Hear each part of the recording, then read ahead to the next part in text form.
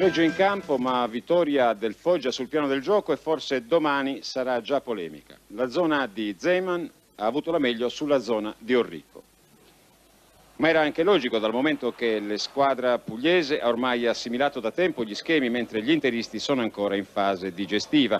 Ha vinto lo spettacolo, 90 minuti giocati a gran carriera con continui rovesciamenti di fronte e un Foggia per nulla intimorito davanti ad avversari di gran nome.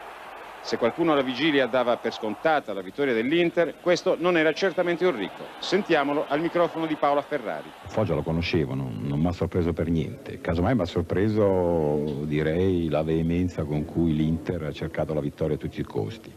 Della squadra di Zeman si sapeva che avrebbe giocato un buon calcio, ma non certamente che avrebbe giocato a San Siro con tanta sfrontatezza. Quattro difensori in linea, tre centrocampisti e davanti la premiata di Tarambau di Baiano Signori a far vedere i sorci verdi a Bergomi e compagni.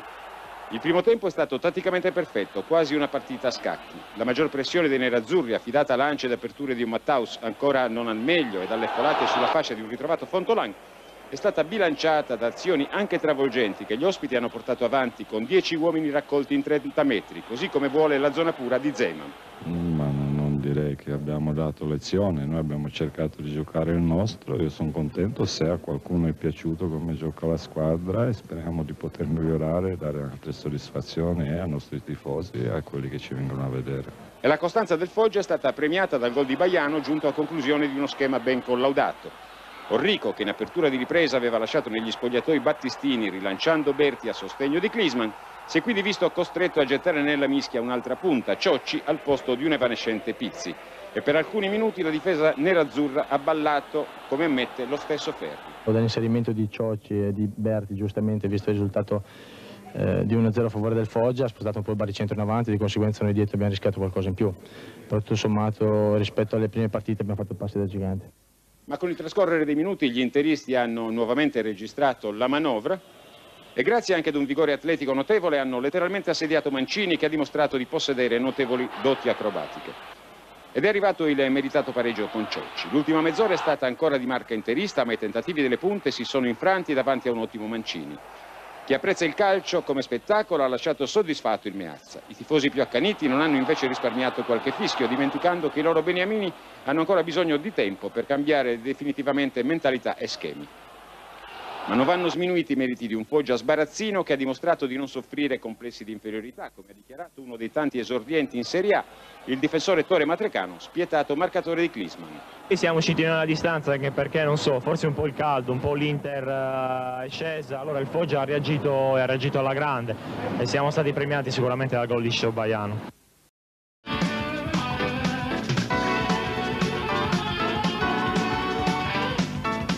Analizzando Roma-Inter, giornali e moviole si soffermeranno probabilmente su un unico episodio, anche perché la gara presentata come rivincita fra le finaliste dell'ultima Coppa UEFA ha francamente deluso. Cinque minuti dal termine, sullo 0-0 che sembra il risultato più logico, il nuovo entrato Ciocci si libera di Tempestilli, fino a quel momento uno dei migliori in campo, che lo atterra. Per l'arbitro Pairetto è rigore. Ecco la versione del difensore giallorosso e dell'attaccante interista. Massimo onestamente in campo è stato veramente un ragazzo molto corretto e leale. Eh, mi ha detto che c'era stato un fallo su un colpo di destra nella stessa azione è nato il calcio di rigore dove io ho commesso un'ingenuità e ho fatto fallo di rigore giustamente concesso dal signor Pairetti Ma io ho visto un lancio di Desideri mi ha pescato molto bene ho stoppato la palla, l'ho portato avanti e, e mi ha fatto fallo ecco. In precedenza, per questo intervento su Muzzi, aveva protestato la Roma, come sottolinea Ottavio Bianchi, comunque leale nel valutare la decisione versa. Ma dal mio punto di vista il rigore c'era, mm, come c'era nettamente un altro a favore nostro, ma eh, io ho visto due episodi simili. Episodi a parte, l'incontro non offre spunti di grande rilievo. L'Inter prova a graffiare soltanto nei primi 5 minuti con le conclusioni di Desideri, schierato contro i suoi ex compagni, e di Matteus. Orrico risolve dunque i problemi d'abbondanza giocando con Klinsmann unica punta e sacrificando Fontolan in panchina. D'altra parte la Roma continua a convivere con l'emergenza. Se l'assenza di Rudy Föller è mascherata dall'entusiasmo e dalla forma del duo Muzzi-Rizzitelli, quella del centrocampista Di Mauro si fa sentire. Gli unici brividi del primo tempo sono provocati da un assist dell'arbitro non sfruttato e da un'uscita a vuoto di Zenga. Tutto sommato troppo poco per una sfida di cartello che il computer ha capricciosamente inserito alla seconda giornata. Un po' più vivace la ripresa, grazie soprattutto all'ingresso di Salsano per Rizzitelli e di Ciocci in sostituzione di Battistini. Il fantasista della Roma dà alla squadra quel pizzico di fantasia che un Essler sottotono non riesce ad offrire e impegna Zenga nell'unico intervento difficile. La punta nerazzurra mette subito in risalto la sua qualità migliore, la velocità. Dopo aver sciupato in conpiede, provoca il penalty decisivo. Dal dischetto Matteus non sbaglia e sigla il gol partita. Umori ovviamente diversi negli spogliatoi, Bianchi non drammatizza. Orrico risponde al nostro opinionista Aldo Agroppi che alla radio afferma di aver visto un Inter per nulla rivoluzionaria, anzi trapattoniana.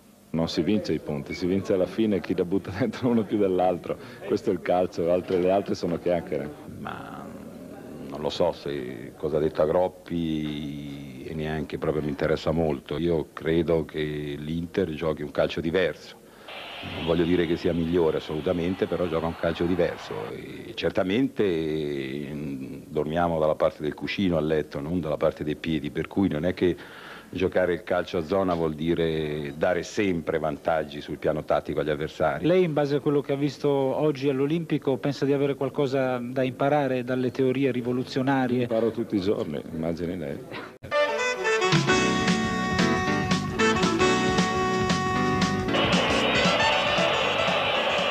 Matteus che batte male,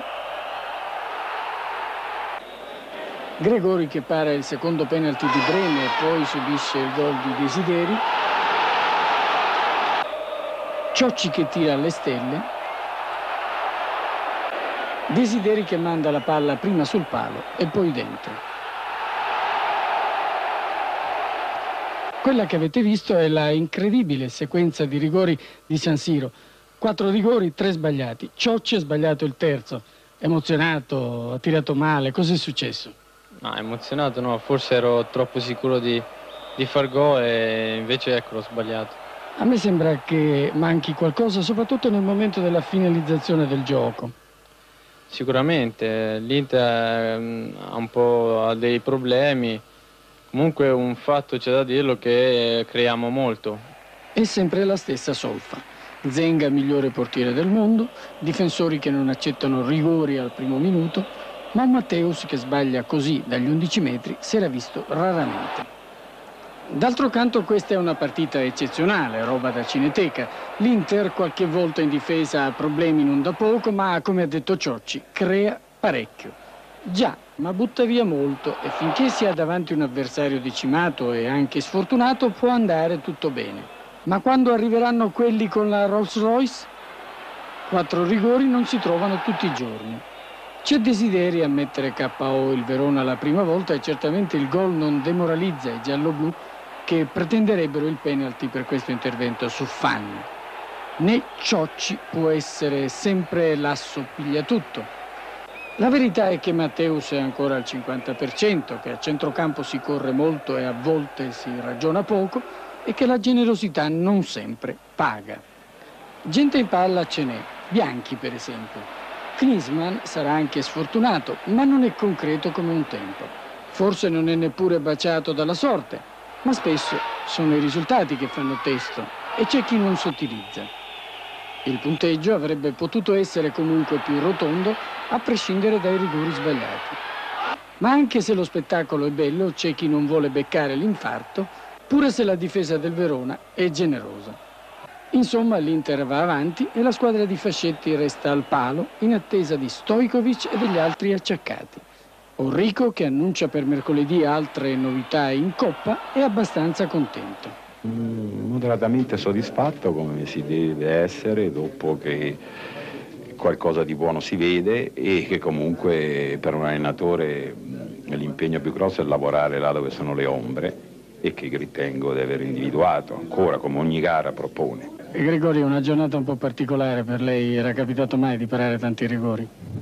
No, avevo parlato domenica scorsa al Marassi contro la Sandoria, però anche in quell'occasione abbiamo perso 2-0, quindi sembra che questi rigori eh, siano, sì, siano ripetitivi ogni domenica. Speriamo che magari qualche rigore entri, ma che il Verona possa fare qualche risultato positivo.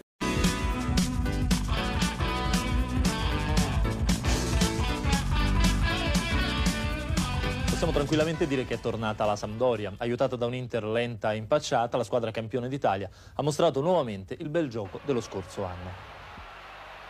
La formazione di Boscov con Sereso libero, Lombardo vecchia maniera sulla fascia e Silas bravo a rifornire con continuità Vialli e Mancini hanno come loro consuetudine marcato in pressing in tutte le zone del campo. L'Inter è disposta a zona, i centrali Ferri e Bergomi però sono un po' lenti nel chiudere. Il tedesco Matteus non è in condizione, desideri a sinistra e un giocatore in meno per Orrico. Roberto Mancini disdegna le cose facili, sbaglia clamorosamente tutte le occasioni che trasformerebbe anche un bambino, per poi colpire però a 10 minuti dalla fine del primo tempo su un lunghissimo lancio di Vierkovod. La ripresa vede l'ingresso di Fontolan per Desideri, ma chi ha mai detto che il contropiede può farlo solamente la squadra ospite? La Sampdoria ha una marcia in più e Lombardo da un po' di tempo a questa parte ha anche una ottima mira. 2-0, l'Inter perde un po' la testa, per i campioni aumentano invece gli spazi e Silas, brasiliano allegro, esalta le doti fisiche di Gianluca Vialli. E non è finita perché c'è ancora il tempo per un altro bellissimo gol di Lombardo, quello del 4-0, e per Enrico si profila la prima settimana difficile da milanese. Enrico, al di là del risultato pesante, che cosa è che la preoccupa di più di quello che ha visto in campo? Ma è stata una partita storta, una partita ben giocata dalla Sandoria, giocata bene anche da noi fino al primo gol e poi saltato per aria tutto e loro sono stati bravissimi a approfittare in contropiede. A livello strettamente tattico, quali sono le cose più difficili da far capire ai propri giocatori?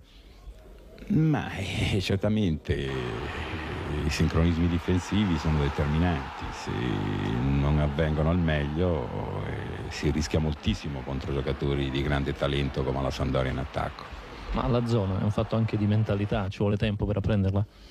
Ma sembrerebbe di sì, però la fanno in diversi, non è che l'abbia inventata io, per cui con pazienza e prove e qualche bastonata dovremmo riuscirci a, riuscirci a trovare un'organizzazione un po' più puntuale di quella di oggi.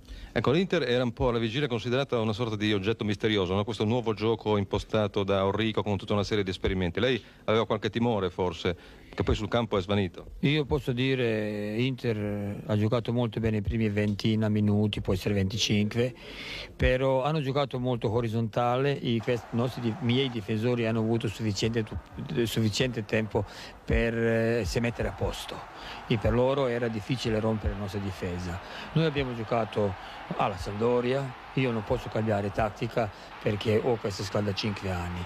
Noi andiamo, continuiamo a giocare sull'uomo con un libero, però penso eh, quando hai così eh, bravi attaccanti come Lombardo, Viali e Mancini, ora una palla gol può risolvere tutti i problemi in campo. Lombardo goleador, ma la notizia più importante è che è tornata la Sampdoria.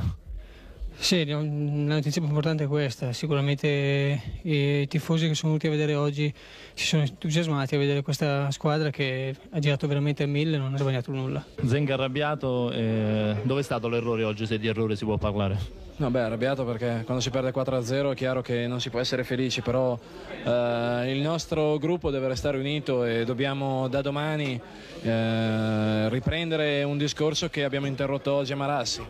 4-0 è una brutta sconfitta, penso soprattutto ai nostri tifosi, ma proprio perché i nostri tifosi so come la pensano, devono sapere che noi siamo un gruppo unito e che da domani cercheremo di rimediare immediatamente a questa brutta sconfitta. Ecco, però secondo te cos'è che non ha assimilato il gruppo? Dal punto di vista tecnico-tattico più che psicologico? Non lo so perché domenica scorsa avevamo giocato molto bene, avevamo fatto una buona partita, creato tanti gol, tante palle gol, avevamo perdetta di tutti entusiasmato.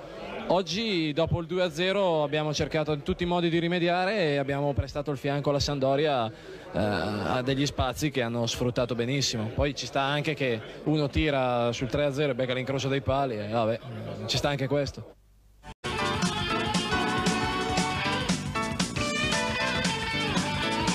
L'Inter a Roma è ormai di casa, vince sempre. Orrico ha sistemato la difesa ed ha beffato una Lazio coraggiosa, sfortunata, ma anche ingenua.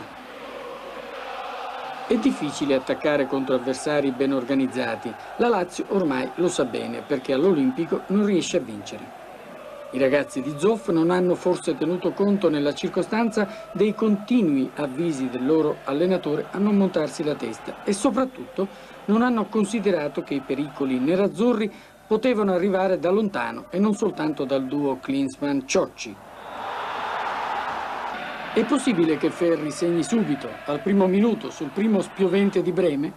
Certo che è possibile se la difesa non è compatta e se qualcuno non si prende l'incarico di bloccare validamente l'incursione del difensore avversario.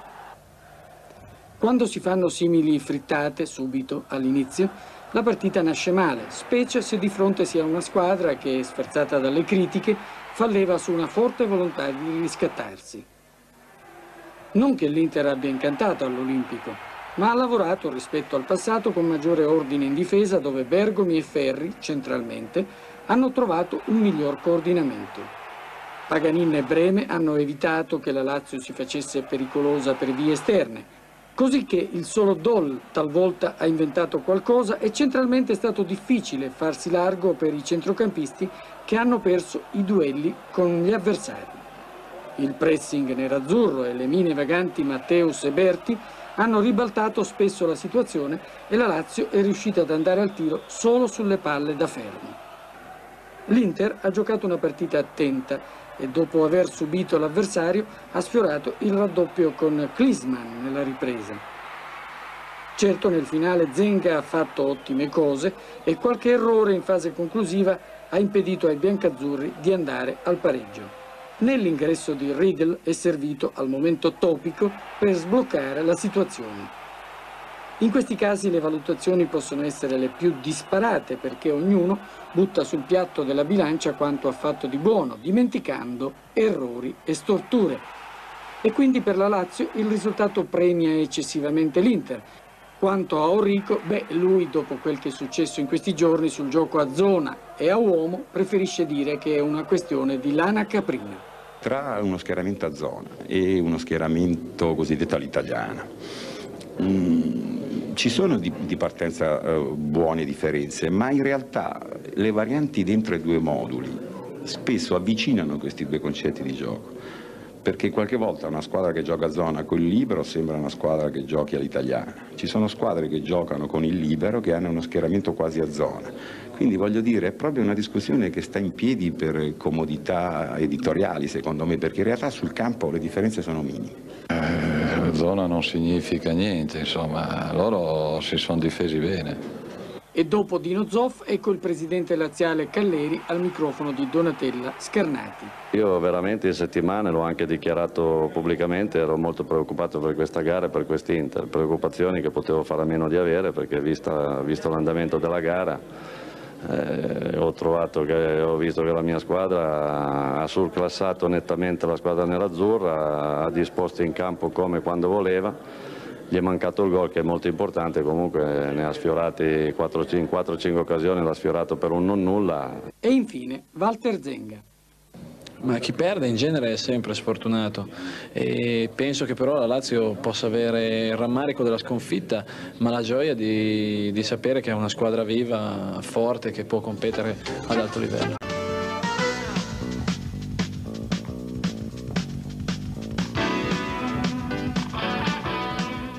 Per Gigi Radice un buon esordio sulla panchina della Fiorentina. L'Inter gioca meglio rispetto alla partita di Coppa col Boavista, ma non ci siamo ancora. Certamente è un momento difficile per i nerazzurri che non possono contare pienamente sull'apporto dei tre tedeschi. A centrocampo la Fiorentina ha uomini abili come Mazzigno e Dunga, mentre Dell'Oglio cerca di frenare le proiezioni di Breme e a sua volta di impostare gioco. Klinsmann, qui sfortunato, non è in giornata. Insomma c'è difficoltà obiettiva nel divincolarsi dalla morsa viola. Berti tenta di inventare qualcosa sulla destra, ma la difesa fiorentina, più attenta rispetto al passato, non molla la presa. Radice privo dei playmakers Orlando e Maillaro e della punta Borgonovo, affianca Branca a Battistuta.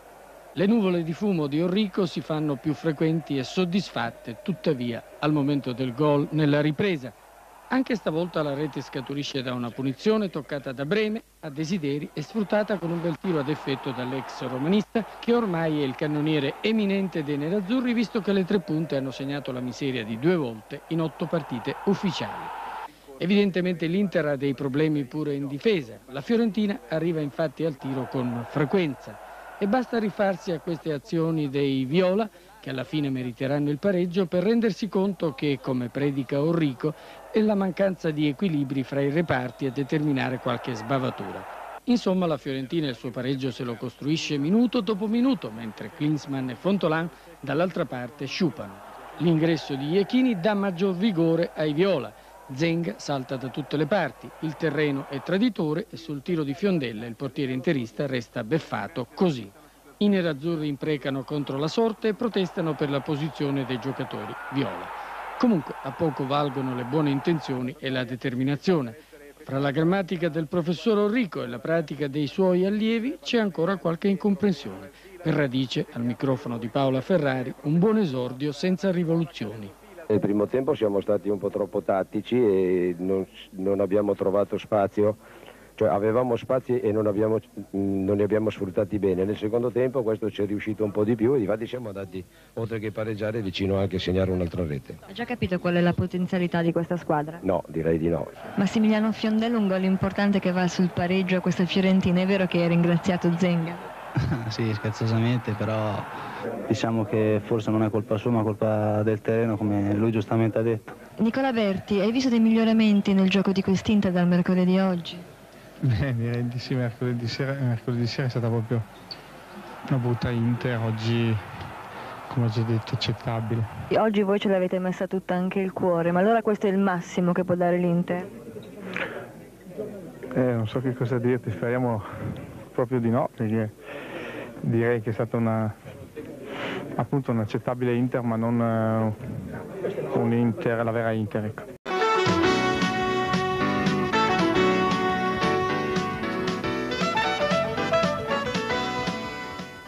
Se è concesso utilizzare il linguaggio medico potremo parlare di un Cagliari come di un ammalato grave nel quale comunque si riscontrano leggeri sintomi di miglioramento. L'Inter invece è un po' come quelle persone che all'apparenza sono sanissime ma poi a un esame clinico si scopre che hanno delle malattie, se non gravi, comunque preoccupanti. A scoprire le magagne che allignano in casa nero-azzurro è stato oggi Carletto Mazzone, 52 anni, romano, vecchia volpe dei campi di Serie A, chiamato al capezzale di un Cagliari in stato precomatoso. E la cura Mazzone si è fatta sentire, complice anche la sosta di domenica scorsa, che ha consentito al tecnico di mettere in squadra un ordine tattico, ma soprattutto mentale. Sapendo che Orrico non avrebbe del tutto rinnegato il credo zonistico, Mazzone ha affidato al rientrante Fonseca il compito di portare lo scompiglio in una difesa schierata a volte scriteriatamente in linea. E poi rispolverato il credo che la miglior difesa è l'attacco, credo dimenticato nella breve era Giacomini, i sardi sono partiti in avanti creando diversi grattacapi a Zenga.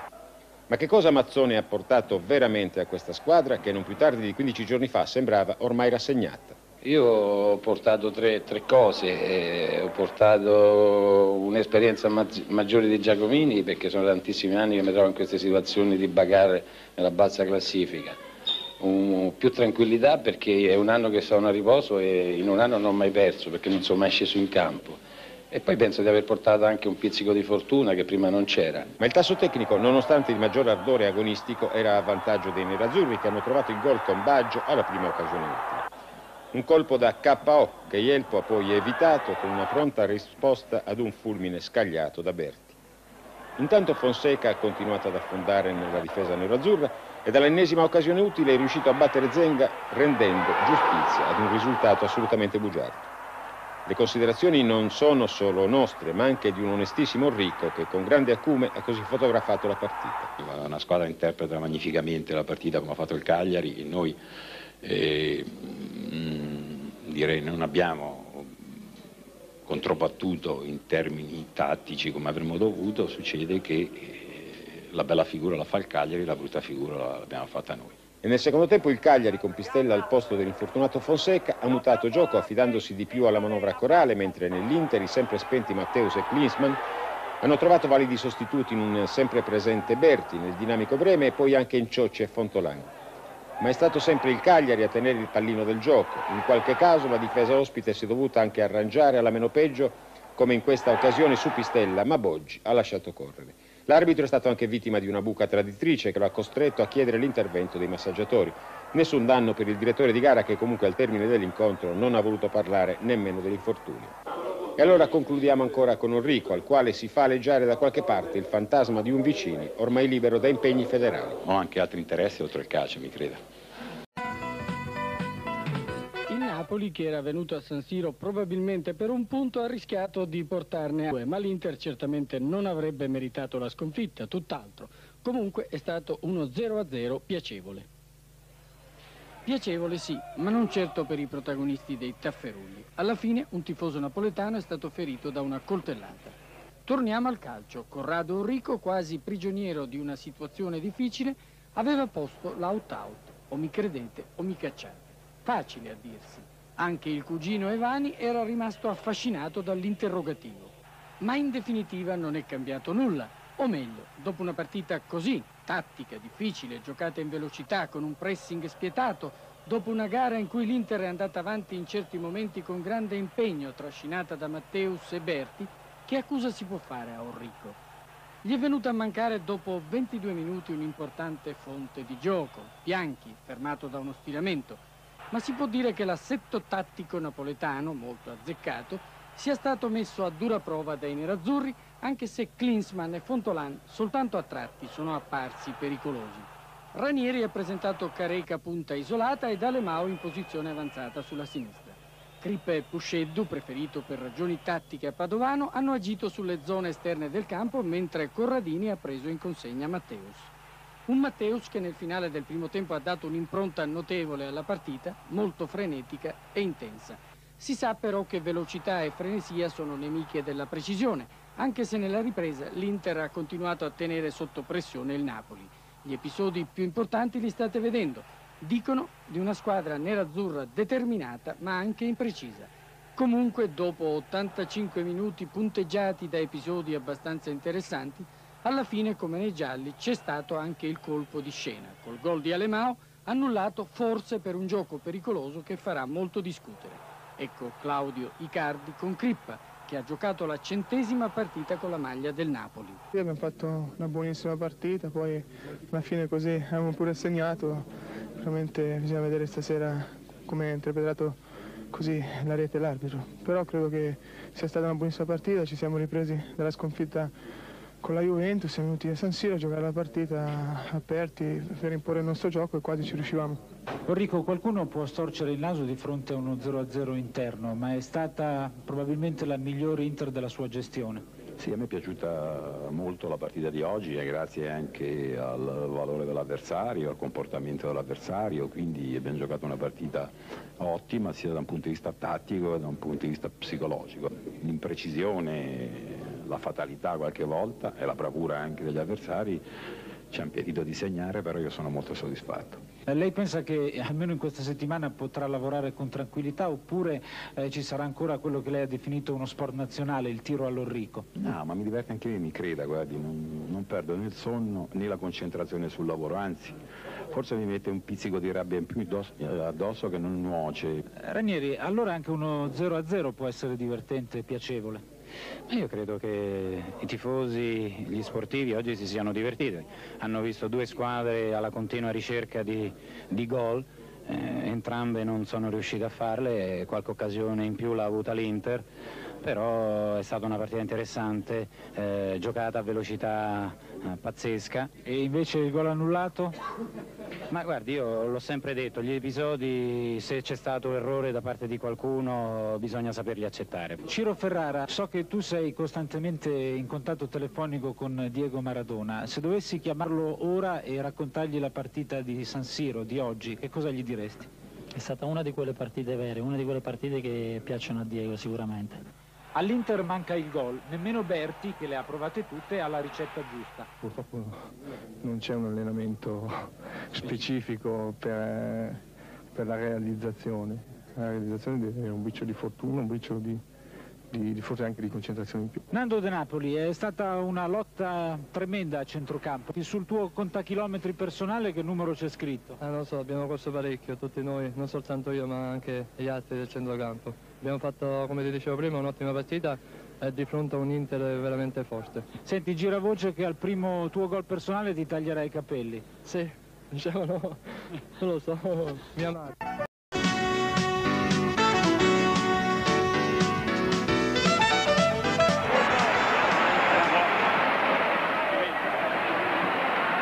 Quello fra Torino e Inter è stato uno 0-0 magari non bello ma comunque intenso, perché ricco di motivazioni su ambedue i fronti. La rabbia nerazzurra per il passo falso di mercoledì contro la rabbia granata per l'espulsione di Scifo. Dal tabellino preleviamo quattro episodi su tutti.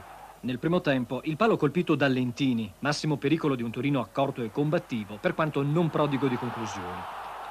Nella ripresa, in apertura questo euro tiro di Montanari sul quale si proietta Marchegiani. E in chiusura questo tentativo di Battistini, che per la seconda volta vede protagonista il portiere Granata. Tutta la partita ruota comunque attorno all'espulsione di Scifo per un fallo di reazione commesso su Matteus all'ottavo della ripresa.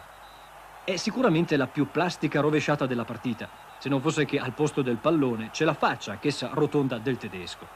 Cartellino rosso sacrosanto, ma cartellino giallo risparmiato a Matteus, che ha provocato l'inatteso saggio di arti marziali.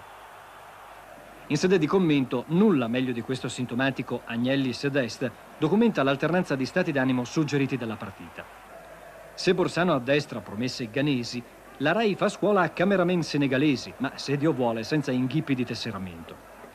Al Torino manca Policano, ma Venturina si conferma sulla fascia sinistra pedina di eccezionale saggezza tattica, in una sorta di replay dell'impeccabile chiudi varchi fusi. L'inferiorità numerica interrompe il crescendo dei padroni di casa, che per tutta la ripresa devono mettere il temperamento al posto delle ambizioni, magari chiedendo all'impetuoso Bruno di reinventarsi Maradona della domenica. Nell'Inter mancano Breme, Bianchi e Zenga, sostituito da questo ringhioso Abate. Il piglio di Berti è l'emblema di una squadra che vuole cancellare l'onta del Como, offrendo almeno un'ora di gioco all'altezza dei disegni di Enrico.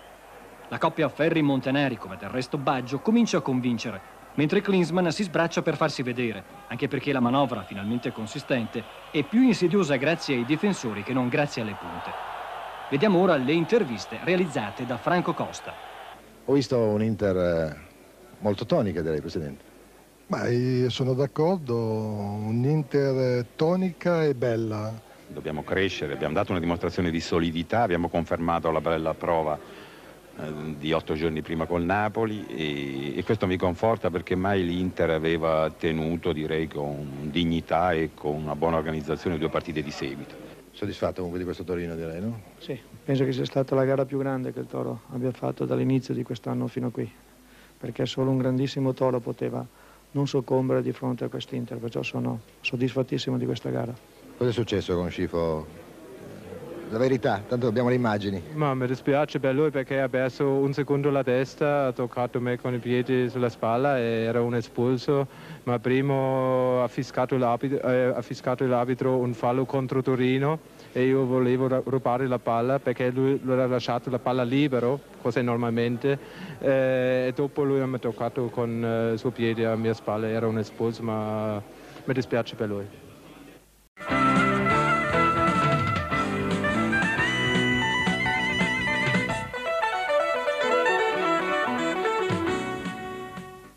L'Inter come Giano bifronte, intraprendente in attacco ma con qualche pecca in difesa. Se l'Ascoli ne avesse approfittato probabilmente staremmo raccontando un'altra partita adesso. Guardare per credere. I nerazzurri privi di Zenga, Bergomi e Bianchi inizialmente trovano pochi spazi. Ne trovano invece parecchi i marchigiani che si presentano così ad Abate. Prima Giordano e poi Vervorto non reperiscono l'ispirazione e il tempismo per concludere. È logico che l'Inter abbia più munizioni, ma dopo un salvataggio di Zaini sul tentativo di Klinsmann, ecco qui cosa ti combina Giordano. Taglia fuori tutta la difesa, compreso Abate, e poi non trova la tempestività necessaria per il tiro vincente. Enrico dice spesso che se la difesa fa certe figure è anche colpa degli altri reparti, ma forse i nerazzurri, che non vincono in casa da due mesi, sono troppo preoccupati di far gol per curare al meglio l'aspetto tattico. È pur vero che dall'altra parte c'è un Lorieri che prende tutti i palloni, possibili e impossibili. E comunque i tentativi di Matteus, Desideri e Klinsmann vanno a vuoto. Nell'Inter di quest'anno su nove gol segnati soltanto uno è stato opera di una punta. Ciocci, Klinsmann e Fontolan sono rimasti muti. E Ferri che dà il là all'azione della rete del centrocampista Berti che si rifà dei fischi di Genova. È la forza del collettivo, diranno gli esperti. Ma forse sarebbe meglio che i gol li facessero anche gli attaccanti. Ferri poi va a siglare il 2-0 di testa. Così i suoi gol quest'anno sono già due ed è la conferma che occorrono difensori capaci di rendersi utili anche in fase offensiva.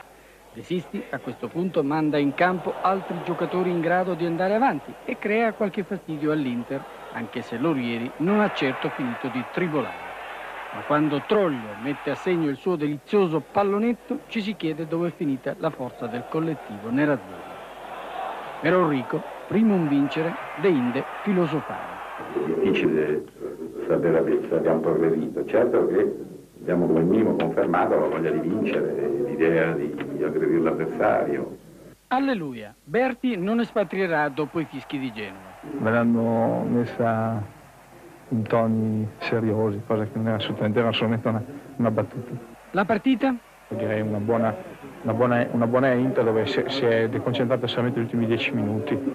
Il pigliatutto Lorieri, l'Inter l'ha vista così. Ci ha lasciato qualche occasione che potevamo sfruttare meglio, quindi eh, così lasciare magari due occasioni all'Ascoli poteva essere un attimino così rischioso.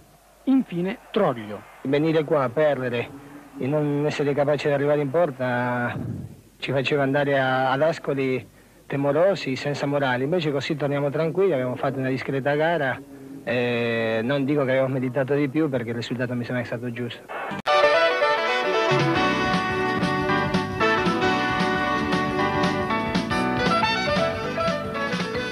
Con l'Inter corta e il Parma zona mista non siamo ancora al calcio totale che va predicando Orrico, però oggi al Tardini, nonostante la pioggia, lo spettacolo è stato piacevole. Volendo comunque tirare le somme per la sua nuova Inter, Orrico deve ancora una volta accontentarsi di rendiconto parziale, perché le cose migliori Matteus e compagni le hanno messe in mostra in avvio di partita e precisamente fino al quattordicesimo quando il tedesco ha finalmente eseguito al meglio e Fontolan sulla deviazione di Apolloni ha deposto in rete. Solo nel finale di partita l'Inter ritornerà a farsi applaudire, mentre per lunghi tratti ha mostrato di soffrire le rapide trame del Parma, davvero specialista nel tenere palla senza però rallentare il gioco. È così che Battistini, Breme e lo stesso Ferri vengono superati più volte dai suggerimenti verticali di Osio, Zoratto e Cuoghi, a beneficio di un Agostini, oggi quasi sempre in equilibrio precario causa le condizioni del terreno, e Brolin, anche lui poco convinto quando si tratta di infilare Zenga. Sta di fatto che un quarto d'ora dopo il gol di Fontolan tocca a Cuoghi pareggiare, mescolando tecnica, acrobazia ed encomiabile astuzia. Come detto, la parte centrale della gara vede in cattedra i centrocampisti del Parma, però è Breme a centrare la traversa di Tafareu dopo una velocissima incursione di Fontolan. Nella ripresa, per una ventina di minuti, i giocatori delle due squadre, con la sola esclusione dei portieri, decidono di fare tutto ammucchiandosi pressoché costantemente all'interno di un rettangolo profondo non più di 30 metri, flottando sulla linea di centrocampo. È l'arci preannunciato gioco corto per squadre corte. Bisogna ritornare a trame più convenzionali, all'italica pedata, per rivedere una buona Inter offendere Conberti, d'obbligo sottolineare la bravura di Taffareu, e il Parma seminare panico in area interista, tanto da consentire ad Agostini di fare vedere quel che vale, ma è solo palo. Migliori in campo dichiara i Cuoghi per il Parma. Più difficile la scelta fra i giocatori dell'Inter, ma tanto a Orrico interessa solo il collettivo. Eh, Orrico insegue un obiettivo di zona totale. Quella vista Parma è ancora parziale, Orrico?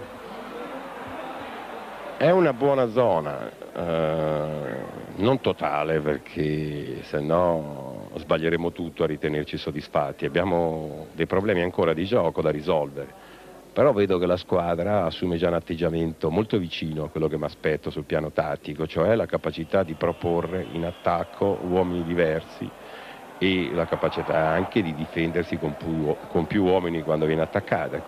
Da rivedere un atterramento di Di Chiara sul quale Trenta Lange fa proseguire, quindi il gol di Stefano Cuoghi, che lui stesso definisce così. Ma dico la verità, volevo fare questo tipo di tir, poi chiaramente ci vuole un po' di fortuna per fare questo tipo di gol, nel, in che modo? Cioè trovare l'angolo dall'altra parte. A me è andata bene, sono molto contento, ma sono più che altro contento per la grande prestazione che ha fatto la nostra squadra.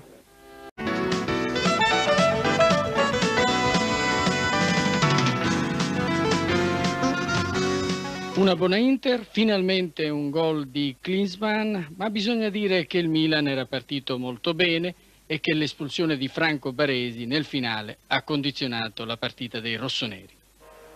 Si lotta contro l'AIDS, ma i nerazzurri combattono anche per la sopravvivenza. Orrico manda Beppe Baresi a presidiare la zona di Donadoni e Maldini e consentire così a Matteus di esprimersi al meglio. Klinsmann e Fontolan si incrociano sul centro-destra, Berti agisce sulla sinistra, su Gullit gioca Dino Baggio. Si comincia con qualche protesta, qui per l'intervento di Ferri su Donadoni. In questo zona contro zona, l'olandese cerca di disorientare il suo angelo custode, parte da lontano, si presenta alla conclusione col suo capoccione micidiale. Sembra che il Milan debba far polpette degli avversari ed il gol, segnato in contropiede con rapida sequenza Albertini, Gullit, Massaro, Van Basten, provoca le vane proteste dei nerazzurri. In effetti l'azione è regolare, ma suscita perplessità la consultazione fra Pairetto e il suo collaboratore. I rossoneri riveleranno poi che il guardaline non si era accorto del gol. Segnatevi questa ammonizione di Baresi per problemi di distanza della barriera, sarà importante. L'Inter, subito il gol, va avanti, disordinatamente, senza tiri decisivi, ma comincia a giocare. Il Milan è sempre pronto al contropiede con gli olandesi rapidi come falchi. Ma i nerazzurri non possono assolutamente perdere la partita e nella ripresa continuano ad andare avanti. C'è molta tensione, Zenga dice che non è giusto e Pairetto minaccia di cacciarlo. Desideri, sostituto di Beppe Baresi, dà il là al gol del pareggio. L'ex fornaio Klinsmann sforna il primo bignè della stagione. La pasticceria comincia a funzionare finalmente. Poi l'intervento di Franco Baresi fa scattare la seconda ammonizione e l'automatica espulsione del capitano rossonero. Il Milan adesso sta sulle sue, i nerazzurri protestano per la spinta di Maldini a Desideri e la partita offre questo bruciante scatto di Gullit che taglia fuori il diesel Breme. L'abisso fra Milan e Inter non si è visto, come confermano il presidente Pellegrini e Nicola Berti a Claudio Icardi.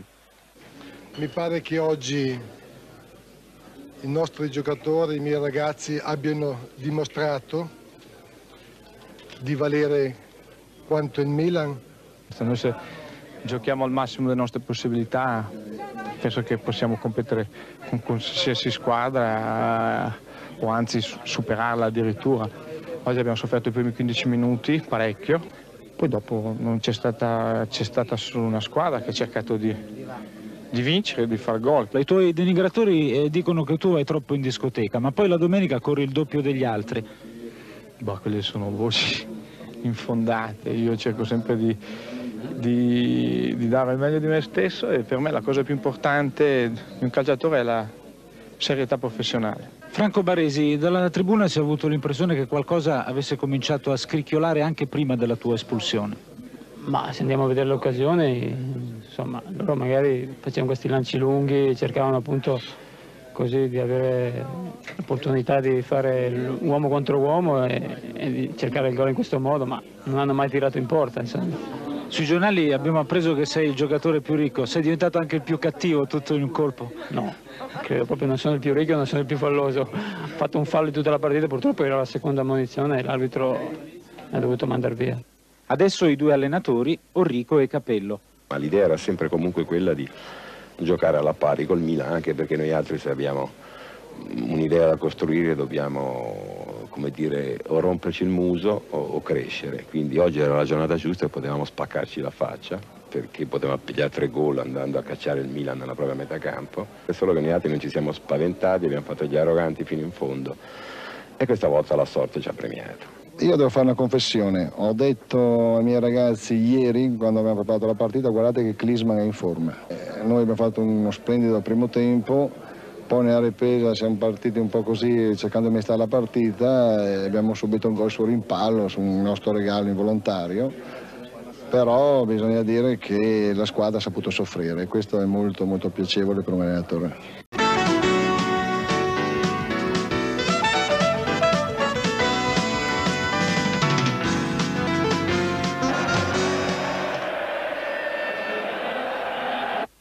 35 minuti di dominio bianconero, 45 minuti di supremazia nerazzurra e poi la serpentina all'abbaggio di un altro Roberto, emblema della maggioranza silenziosa del nostro calcio.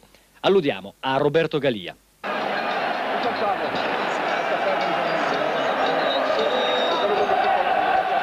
La cronaca essenziale, comincia al 36esimo del primo tempo.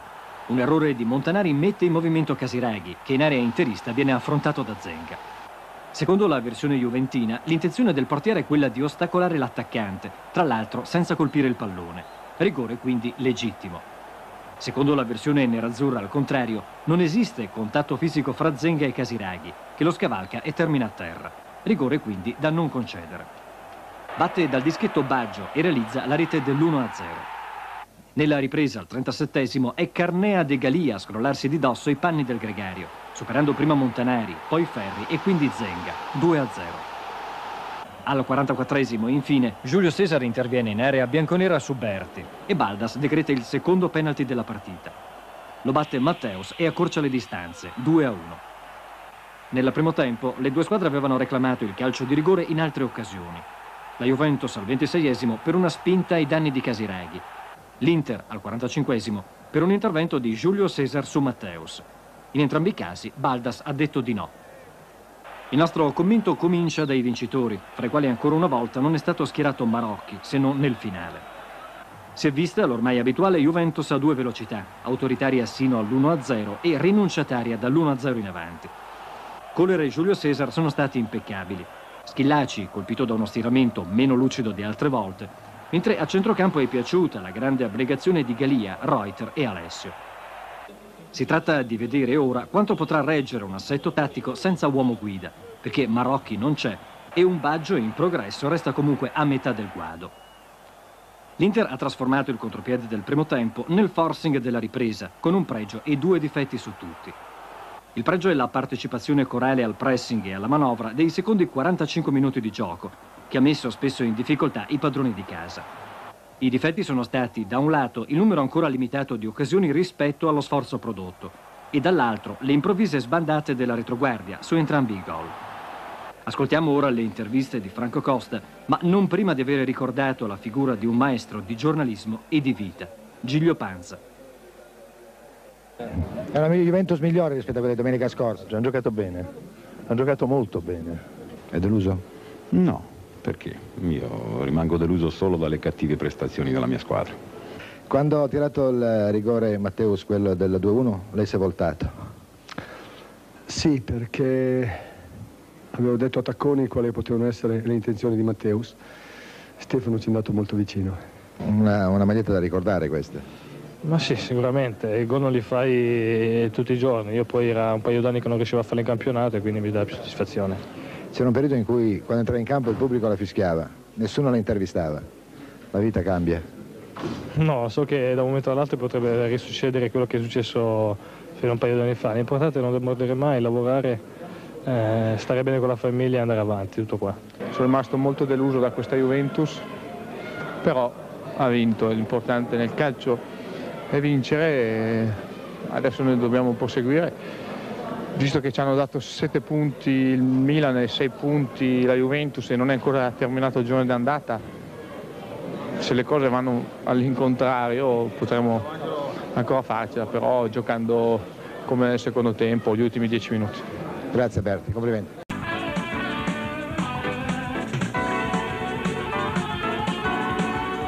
L'Inter 20 tiri, 2 gol, il Genoa 2 tiri, 2 gol.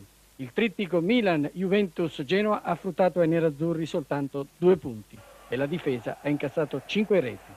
Cifre spietate come si vede, ma un Inter che sul piano dell'impegno è encomiabile.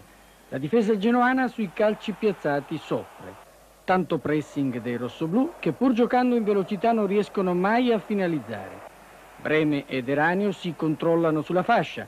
In mezzo la battaglia per il possesso della palla è talvolta dura. Il rientrante Bianchi dà qualcosa in più alla manovra nerazzurra. Matteus è l'organizzatore del gioco. Si avverte l'assenza di Berti già in divisa da Babbo Natale. Tutto tedesco il primo gol. Breme buca la difesa genoana. È un vantaggio meritato per la squadra di Orrico e se i rossoblù non avessero da ridire per questo intervento di Montanari che trascina Aguilera nella polvere, sarebbe una partita a senso unico per le occasioni da rete. Baggio è assai bravo nel controllare il ruotolo e tentare anche qualche sortita. La cerniera rossoblù con Bortolazzi e Onorati non cede. La svolta della partita quando esce Klinsmann per un acciacco al ginocchio. Entra Fontolan che non riesce a portare il colpo del KO. La partita cambia rapidamente. Guardate cosa combina la difesa interista sul gol di Aguilera ispirato da Scuravi. È un Inter che passa momenti difficili dopo l'uscita di Montanari e subisce il gol di Eranio che lascia perplesso Zenga. Sembra una giornata storta. Con Pizzi però l'Inter torna a premere ed il Genoa ricomincia a tremare. Desideri e Matteus cercano il bersaglio e si rivede una squadra tonica che però rischia molto sul contropiede genoano, sempre pericoloso.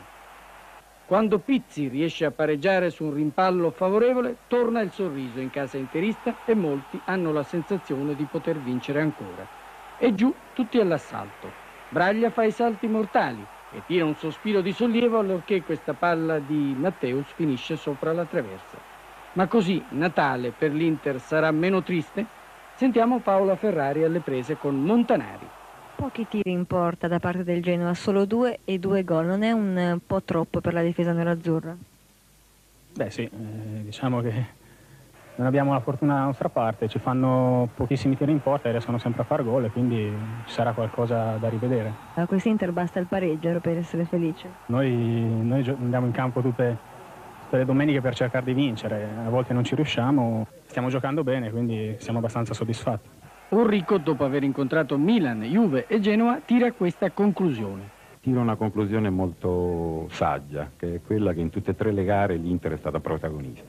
E il fatto è che con la logica del gioco, bene, con la logica della classifica che taluni leggono sempre, e il discorso può essere diverso. Eh beh, ma quando una squadra riesce a, a centrare l'equazione gioco e risultati diventa una squadra imbattibile. Mister Bagnoli, il Genoa viene sempre a San Siro, gioca bene però non riesce a vincere.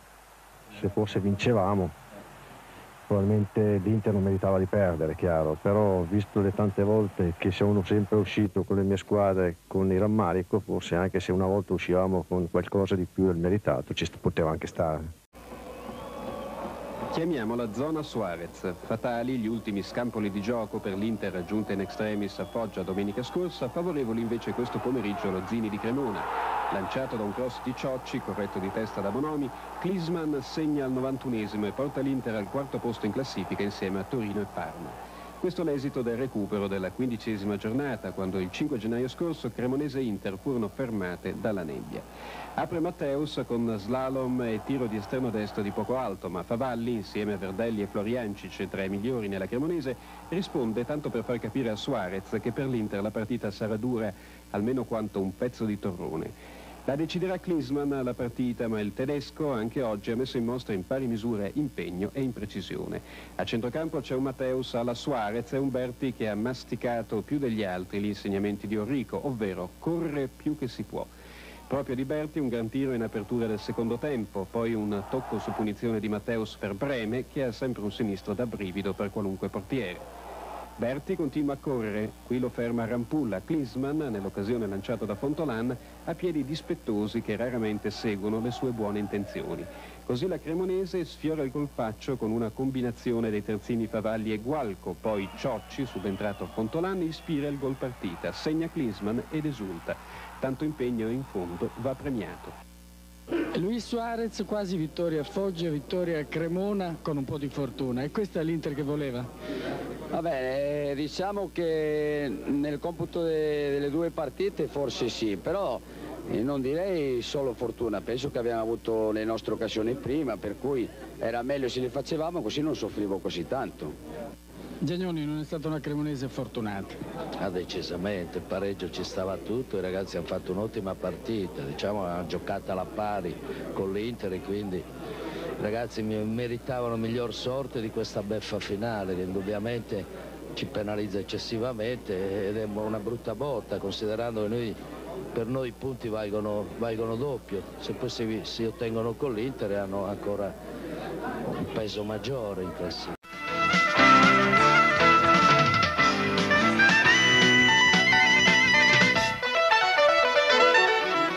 È stato il pomeriggio della grande rabbia e dei grandi sospetti. Mai Pellegrini avrebbe pensato di subire una simile contestazione dopo una partita brutta ma vinta. Così i giocatori interisti, che dopo aver sopportato parecchi inviti a cambiare mestiere, pensano adesso che contro il loro presidente sia in atto una vera congiura. 500 ultranerazzurri hanno atteso l'uscita degli ex beniamini per manifestare la loro feroce delusione e Pellegrini, uscendo a piedi dal tunnel del garage che porta agli spogliatoi, ha pensato di sfidare tanti contestatori tentando la via del dialogo, in verità con scarsa fortuna. Siamo la barzelletta d'Italia. Bar... Ad aiutarlo, in futuro, dovranno dunque essere più che mai Matteus e compagni, oggi contro il Bari deludenti e anche sfortunati. Lo stesso Enrico, che contro i penultimi in classifica ha impiegato all'inizio una sola punta, Klinsmann, con il finisseur Pizzi a supporto e con il debuttante Angelo Orlando approssimativo a centrocampo, dovrà decidersi a trovare in fretta una fisionomia più funzionale e credibile per la sua squadra, con migliori aperture laterali del gioco. Noi abbiamo raggiunto dei picchi di buon gioco e non, non avevamo raccolto nulla o poco nel mese di dicembre. Il destino vuole, dice oggi, con la gara di oggi, che, che giocando male abbiamo vinto e allora facendo la somma tra direi due valori che ci sono capitati riteniamo sempre di avere la coscienza a posto. Il Bari, che nel primo tempo mette i brividi a Zenga con il bravo Soda, nella ripresa bada troppo a difendersi con il portiere Alberga, impegnatissimo anche a chiedere carezze alla buona sorte.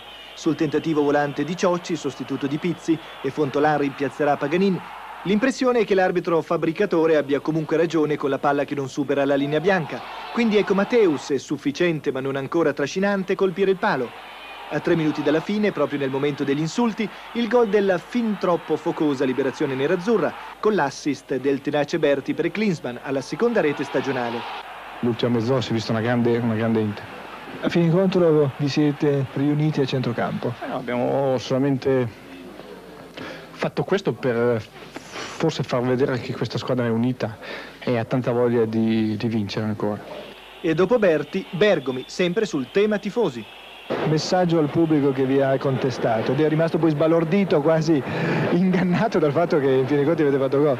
Ma non so, oggi una reazione secondo me un po' strana, non, eh, non capibile perché insomma nel primo tempo magari viene giocato così così, nel secondo tempo la squadra ha lottato, ha dato tutto quello che aveva dentro ed ha vinto. Per il Bari del volitivo Platt, dopo la doccia gelata del gol di Klinsmann, anche l'espulsione per doppia munizione del talentuoso Boban. Sentiamo Boniek. Forse il nostro sbaglio più grande era questo che non siamo riusciti mai a, a rallentare un po' gioco, a tenere palla a centrocampo per agire un po' la difesa. A meno 6 dalla zona salvezza, Terra Cenere pensa già alla sfida al Verona. Il Verona alla quarta giornata di ritorno dovrebbe venire qui a Bari e senz'altro faremo di tutto per portare in porto i due punti.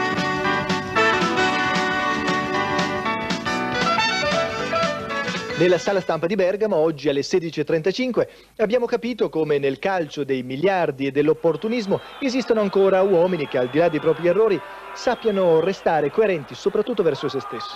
Ritengo che la mia, mm, la mia presenza qui all'Inter, eh, a questo punto qui, sulle valutazioni che faccio io, sia più negativa che positiva, quindi è bene che tolga il disturbo e siano altri a proseguire mm, il lavoro.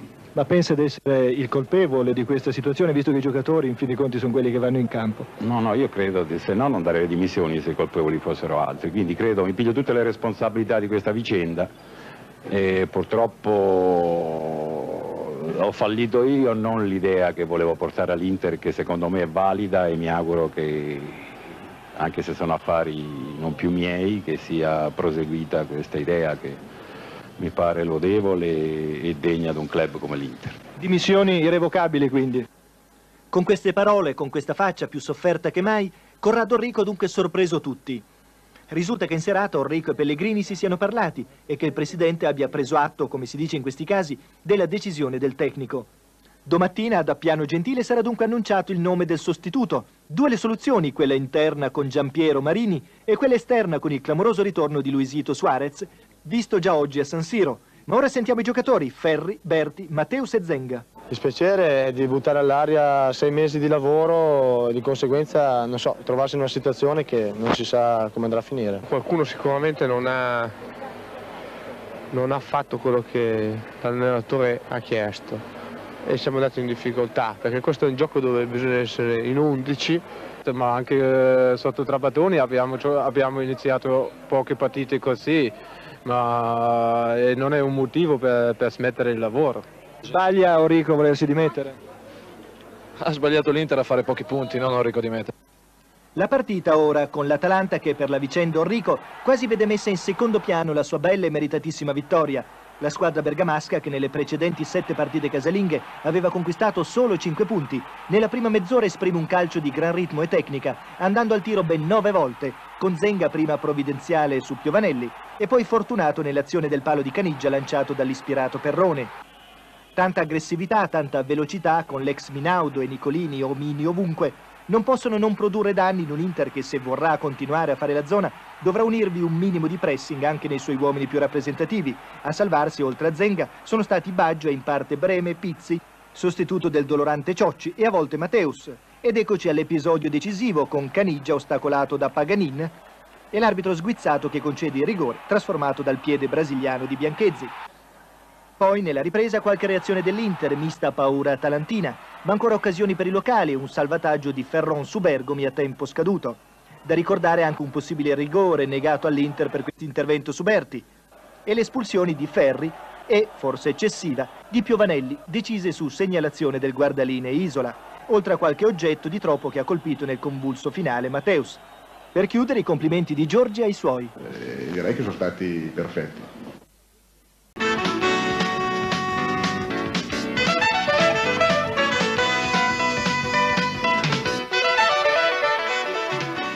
Interessante ma con le mani bucate la nuova Inter di Suarez. Non le bastano due gol di vantaggio e un uomo in più per battere il Foggia dei Miracoli, oggi splendido nel suo slancio finale. C'è lo Zaccheria delle grandi occasioni per l'arrivo dell'Inter, che fa accomodare in panchina un pilastro della sua leggenda. Luisito Suarez è l'uomo della restaurazione e la strada scelta per la credibilità del dopo Orrico è quella della solidità difensiva. Con Ferri squalificato e Montanari indisponibile, Battistini festeggia i 250 gettoni in Serie A piazzandosi dietro tre marcatori, Bergomi, Paganin e Breme. Il centrocampo nerazzurro, con Berti nella versione migliore, sostiene le due punte, Klinsmann e Fontolani. Con un avversario che concede pochissimo in marcatura, il tridente baiano Signori Rambaudi non riesce a pungere come di consueto e i rari passaggi a vuoto della difesa interista non vengono sfruttati a dovere. La scossa che elettrizza l'incontro arriva alla mezz'ora. Berti va giù sull'attacco di Codispoti, L'arbitro Ceccarini concede un rigore che al Foggia proprio non va giù. Codispoti ha commesso o no fallo su Berti? Ma io direi che lui ha vinto il rimpallo con Petrescu, stava per calciare in porto, ha messo la gamba, a quel punto lui ha cercato la mia gamba, si è allungato la palla e si è tuffato. La trasformazione ad opera di Matteus piega le gambe al Foggia, costretto ad accentuare le sue caratteristiche di squadra aperta. Rambaudi non sfrutta l'assistenza di Baiano, poi lo show, bello quanto sterile, dell'Inter. La difesa rossonera fa acqua da tutte le parti. Klinsmann esibisce un destro non all'altezza di un campione del mondo, ma si riscatta invitando Berti alla fondo vincente. Mancini paga a caro prezzo l'intervento alla disperata fuori area, gol evitato ma cartellino rosso e relativa consolazione da parte di Zenga. Con il sacrificio di Rambaudi, tra i pali va Rosin che a freddo risponde alla punizione di Matteus. L'intervallo non cambia il copione e all'ottavo della ripresa Klinsmann, indisturbato, capitalizza il cross di Bianchi. Ci si chiede quali siano le chance del Foggia che, in inferiorità numerica, può scegliere solo la strada dell'agonismo. L'Inter sembra scherzare e nello spreco delle occasioni si legge chiaro il peccato di sufficienza. Ciocci sostituisce Fontolan, Signori lascia il posto a Kolivanov e intanto il Foggia, caparbio quanto umile, gioca le sue carte, sperando di pescare almeno il jolly della speranza. Anche perché l'Inter di chiudere il match proprio non ne vuol sapere. Il patatrack interista ha un arco di 5 minuti. Insistenza di Kolivanov trova il premio del penalty sull'intervento di Dino Baggio. A digiuno da oltre due mesi Ciccio Baiano fa centro dal dischetto. La bella addormentata nerazzurra si risveglia nell'incubo. Zenga può opporsi a Petrescu solo la prima volta. Poi il romeno trova il gol che vale l'apoteosi dello Zaccheria, per un pareggio sul quale nessuno avrebbe scommesso. Nel dopo partita il primo a parlare è Suarez. Se noi andiamo avanti a giocare così, a creare queste numero di occasioni, le partite le vinceremo, no? È che non bisogna così prendersela più di tanto perché può capitare questo, questo nel calcio. Zeman, cosa ha di particolare questo Foggia nel panorama del calcio italiano? Ma penso la, la voglia di, di, di, lottare, la voglia di giocare. Magari giochiamo spesso anche troppo, certe volte, certe volte rischiamo molto, ma, ma, bisogna cercare di costruire qualche cosa perché insisto a dire che distruggere è molto più semplice. Matteus, cos'è cambiato con Suarez per l'Inter? No, non possiamo dire adesso dopo tre giorni ha cambiato tutto, ma oggi abbiamo visto, abbiamo giocato più veloce, più, un po' più eh, con rischio e questa è la differenza adesso tra Suarez e Orico, ma vogliamo migliorare adesso anche nelle nelle prossime settimane il nostro gioco.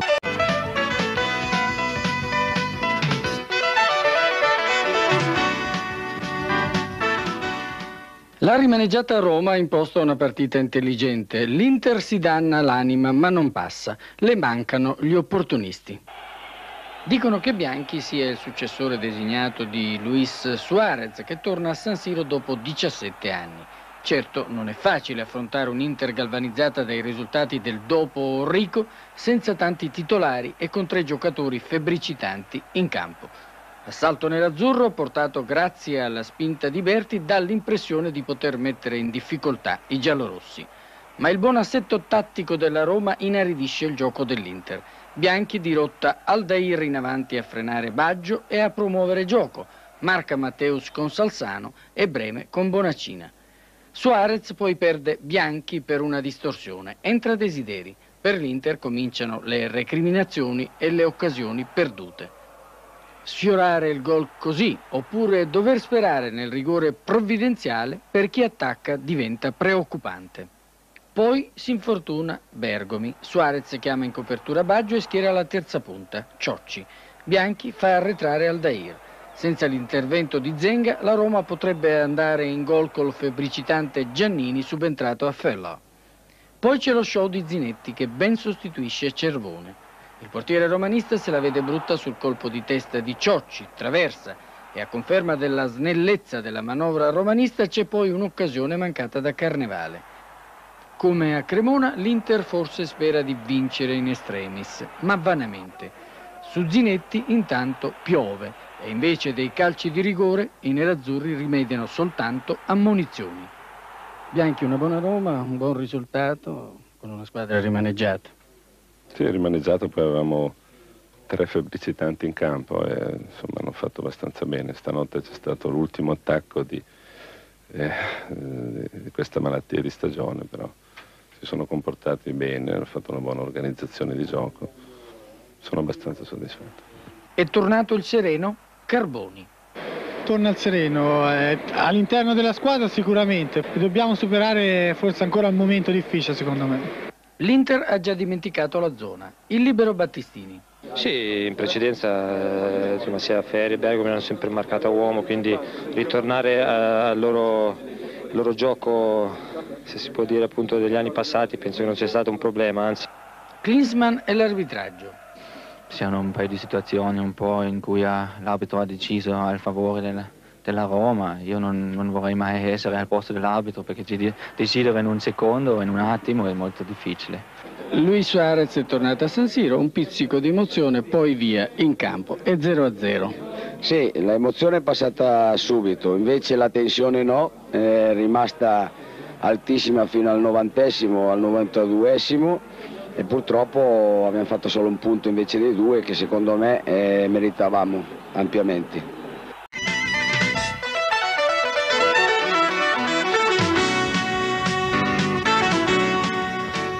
Grinta, cuore e determinazione, ma anche bel gioco e tante occasioni da gol sprecate. Così il Verona ha battuto l'Inter per 1-0, un Inter che subisce la prima sconfitta della gestione di Suarez. È sempre lui, Eugenio Fascetti, toscanaccio sincero, un uomo che ama dire sempre l'ultima parola, ma soprattutto uno che ama la verità. Nella vittoria di un Verona quasi al completo mancava il solo Prizz, a cui è stato preferito Magrin proprio all'ultimo minuto, c'è sicuramente la sua firma. Il carattere dell'allenatore si è rispecchiato al meglio in una squadra che con grinta, bel gioco e determinazione si sta tirando fuori dalle sabbie mobili della zona retrocessione. L'Inter, dall'altra parte della barricata, non mancava solo dello squalificato Mateus, ma anche di Bergomi e all'ultimo minuto di Dino Baggio. La formazione di Luisito Suarez comunque non gioca un buon calcio, i suoi attacchi sono lenti e prevedibili e al ventitreesimo, su un rapido contropiede, arriva il gol di Ezio Rossi ben ispirato dal romeno Raduciou.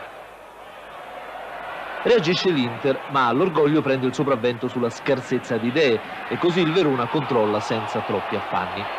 Nella ripresa continua la sterile pressione dei nerazzurri, ma il Verona in contropiede ad avere le migliori occasioni.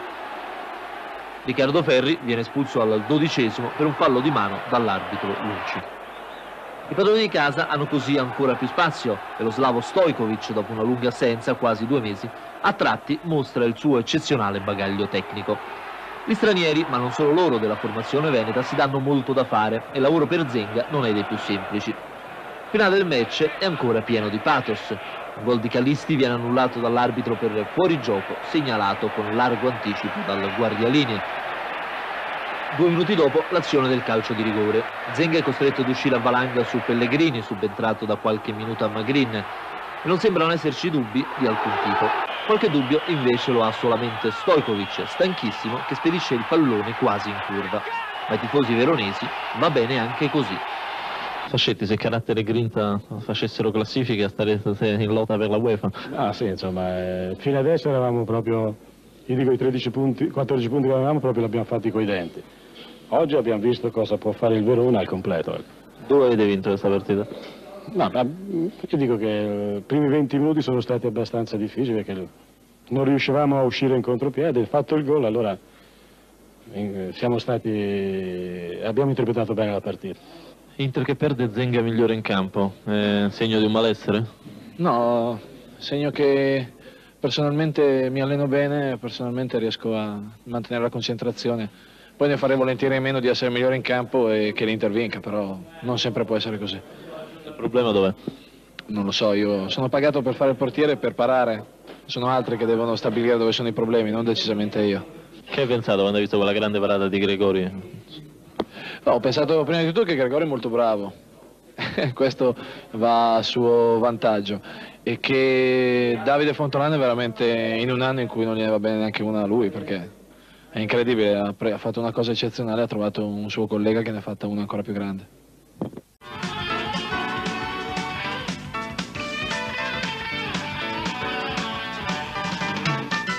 La Sandoria ha meritato il pareggio ed ha sfiorato anche la vittoria. L'Inter, generosa e rimaneggiata, ha un grande problema, quello del gol. I grandi assenti sono Berti e Breme per i nerazzurri, Catanez e Mancini per i blucerchiati. L'anno scorso Inter e Sandoria lottavano per lo scudetto, oggi mendicano la zona UEFA. I tentativi di confondere le idee agli avversari mescolando numeri e marcature non regalano a Suarez molti vantaggi. La verità è che all'Inter manca la forza propulsiva di Berti che Matteus in settimana ha sprecato troppo fiato per polemizzare, che i nerazzurri non sono abili nel tiro al bersaglio e che magari qualche arbitro caritatevole avrebbe giudicato più severamente il tamponamento di Sereso ai danni di Fontolano. L'impegno c'è, non ci sono dubbi, ma che volete? Gli dei della palla bisogna saperseli ingraziare. Bisogna dire però che fare i conti con una Sandoria determinata e organizzata non è facile per nessuno. Dieci settimane di risultati positivi, un Vialli che si muove bene dopo 15 giorni dietro la lavagna e voglia di combattere per la patria e per il contratto. Sì, è vero, corrono qualche pericolo i doriani perché le fiammate di Fontolan e Klinsmann scaldano l'ambiente, ma la temperatura resta condominiale, non si superano certi limiti. Entra Ciocci e l'Inter tenta di forzare il dispositivo difensivo dei Liguri, ma i nerazzurri non hanno problemi solo davanti. Anche in fase di ripiegamento qualcosa scricchiola. È buon per Zenga che Matteus per una volta si riveli suo alleato sulla girata di Buso. Insomma, il solito refrain di occasioni perdute, di tiri sbagliati, di fischi, di amori spezzati, di programmi bruciati, quasi come nelle canzoni di Sanremo dove più si piange e meglio è. Grazie dei fiori. Stimolato da Paola Ferrari, Luisito Suarez ritrova il suo sangue caliente. Sono state tante polemiche anche durante questa settimana per lo spogliatoio dell'Inter, continua a mancare un po' la tranquillità. No, la, se la polemica vi riferite a quello che ha detto Matteus, io come esperto di calcio di tanti anni, se tutte le polemiche che ci sono nel calcio fossero come quelle, guardi che le firmo subito, perché proprio è una cosa che è ridicola secondo me.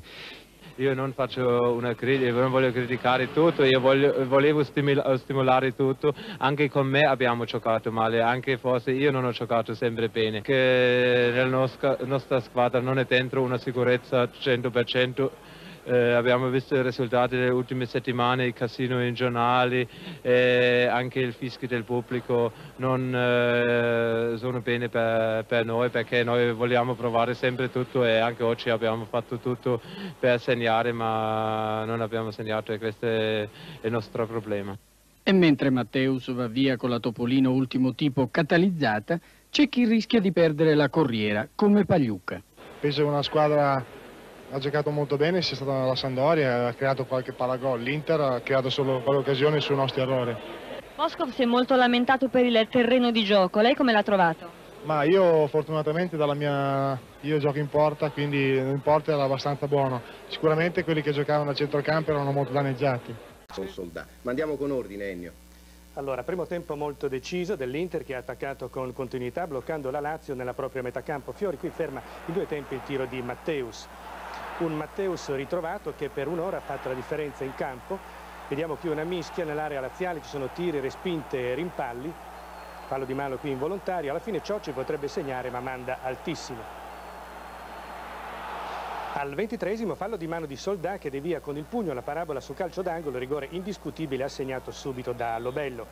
Matteus batte con forza e segna 1-0. La Lazio che fino a quel momento era stata in difficoltà nell'organizzare il suo gioco d'attacco arriva vicinissima al gol con un bolide di Ruben Sosa, molto bravo Zenga.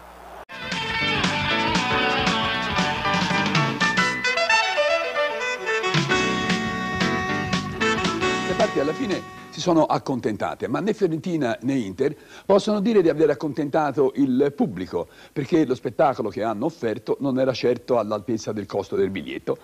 Cioè, con qualche vibrazione in più, si è continuato sulla falsariga dell'ultima partita casalinga con il Milan, lo 0-0 va ricordato, con l'eccezione questa volta del brivido del gol. L'unico momento di fantasia e di spettacolo interista, squadra alla ricerca di una rigenerazione anche psicologica, come dice subito Luisito Suarez.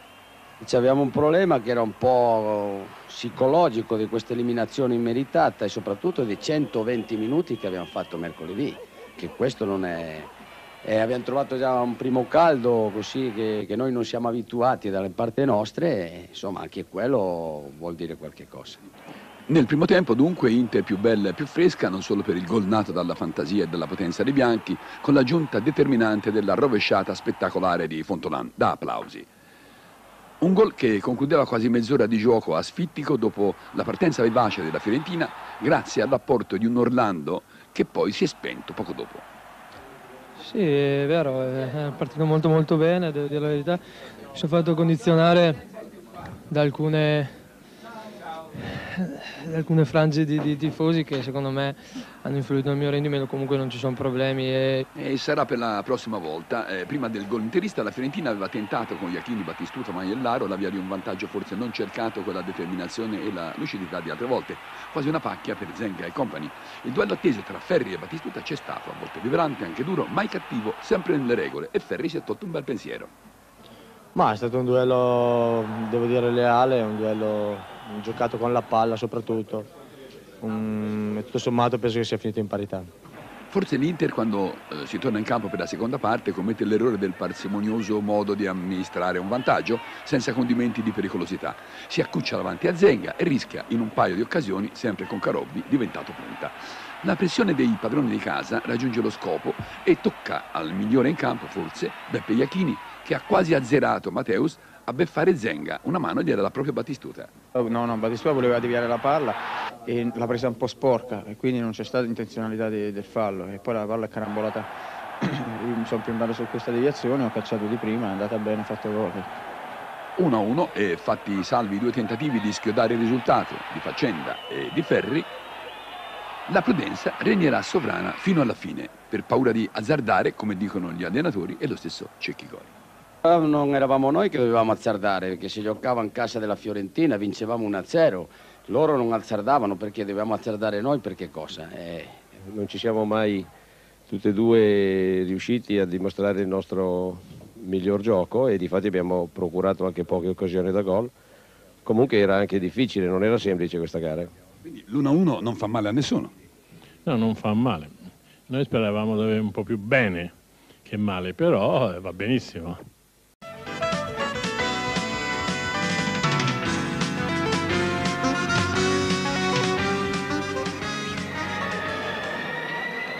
Venire da Rovigo per morire a 17 anni buttandosi da una delle torri di San Siro. Ma è possibile? Questo l'agghiacciante prologo di Inter Cagliari. E la partita? La partita ha dato al Cagliari la conferma di una salvezza possibile, all'Inter quella di un'annata da dimenticare. Un giù le mani da Fonseca e un avviso agli arbitri sono i titoli di testa di un film già visto. C'è la stella cadente Klinsmann e l'attor giovane del vecchio. Non c'è Fontolan e Matteus pretende subito la parte del protagonista, ma la storia non è a lieto fine. Segnare per i nerazzurri è un'impresa titanica. Bianchi ha dei problemi, il Cagliari è un avversario quadrato, sa quel che vuole, è decisamente minaccioso.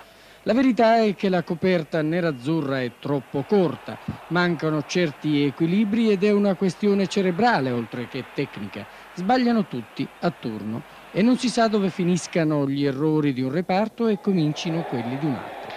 È fatale che precipitazione ed affanno portino a mancanza di lucidità. Nel primo tempo, tuttavia, i nerazzurri riescono a tenere sulla corda l'avversario. Nella ripresa, dopo aver buttato via un inatteso regalo dei rossoblù, comincia per i nerazzurri una fase non certo felice e Zenga commenta così i propri salti mortali. Sì, ma a momenti i salti mortali faccio fare ai miei compagni se non recupera Lothar con la palla sulla riga. Io preferirei decisamente uscire da San Siro senza toccare un pallone e vedere la mia squadra che vince 3-0 e gioca bene. Tutti avrebbero... La Catalano. No, beh, mettiamo Catalano in porta, vediamo cosa dice lui. Come vedremo ancora, il pareggio diventa già un buon risultato per i nerazzurri. Il Cagliari sfiora la vittoria e Mazzone è soddisfatto. Secondo me ha, gio ha, giocato molto bene la squadra, cioè non ha solamente distrutto. Il fatto stesso che Zenga penso che sia stato uno dei migliori giocatori dell'Inter in campo, questo già la dice lunga. Ecco. Fonseca avete sfiorato addirittura il colpaccio, no? Sì, eh, purtroppo eh, Senga ha fatto la parata ottima, speriamo continuare così fino eh, a trovare la salvezza che è lo che, lo che più ci auguriamo adesso. È sempre lo stesso ritornello, può stancare, può stufare, ma è la verità, cioè iniziamo bene, abbiamo queste occasioni, non riusciamo a farle, dopodiché ci smarriamo un momentino, ci nervosiamo e ripeto, concediamo delle occasioni anche all'avversario perché ci possa anche colpire. Da Suarez a Berti, i problemi dell'Inter.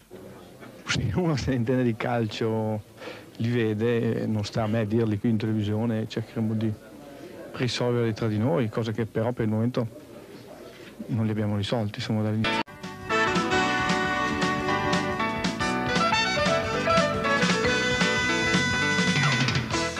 Certo, se al Napoli fosse stato concesso anche uno solo dei quattro rigori invocati in campo e dagli spalti, si sarebbe detto che i lamenti settimanali funzionano.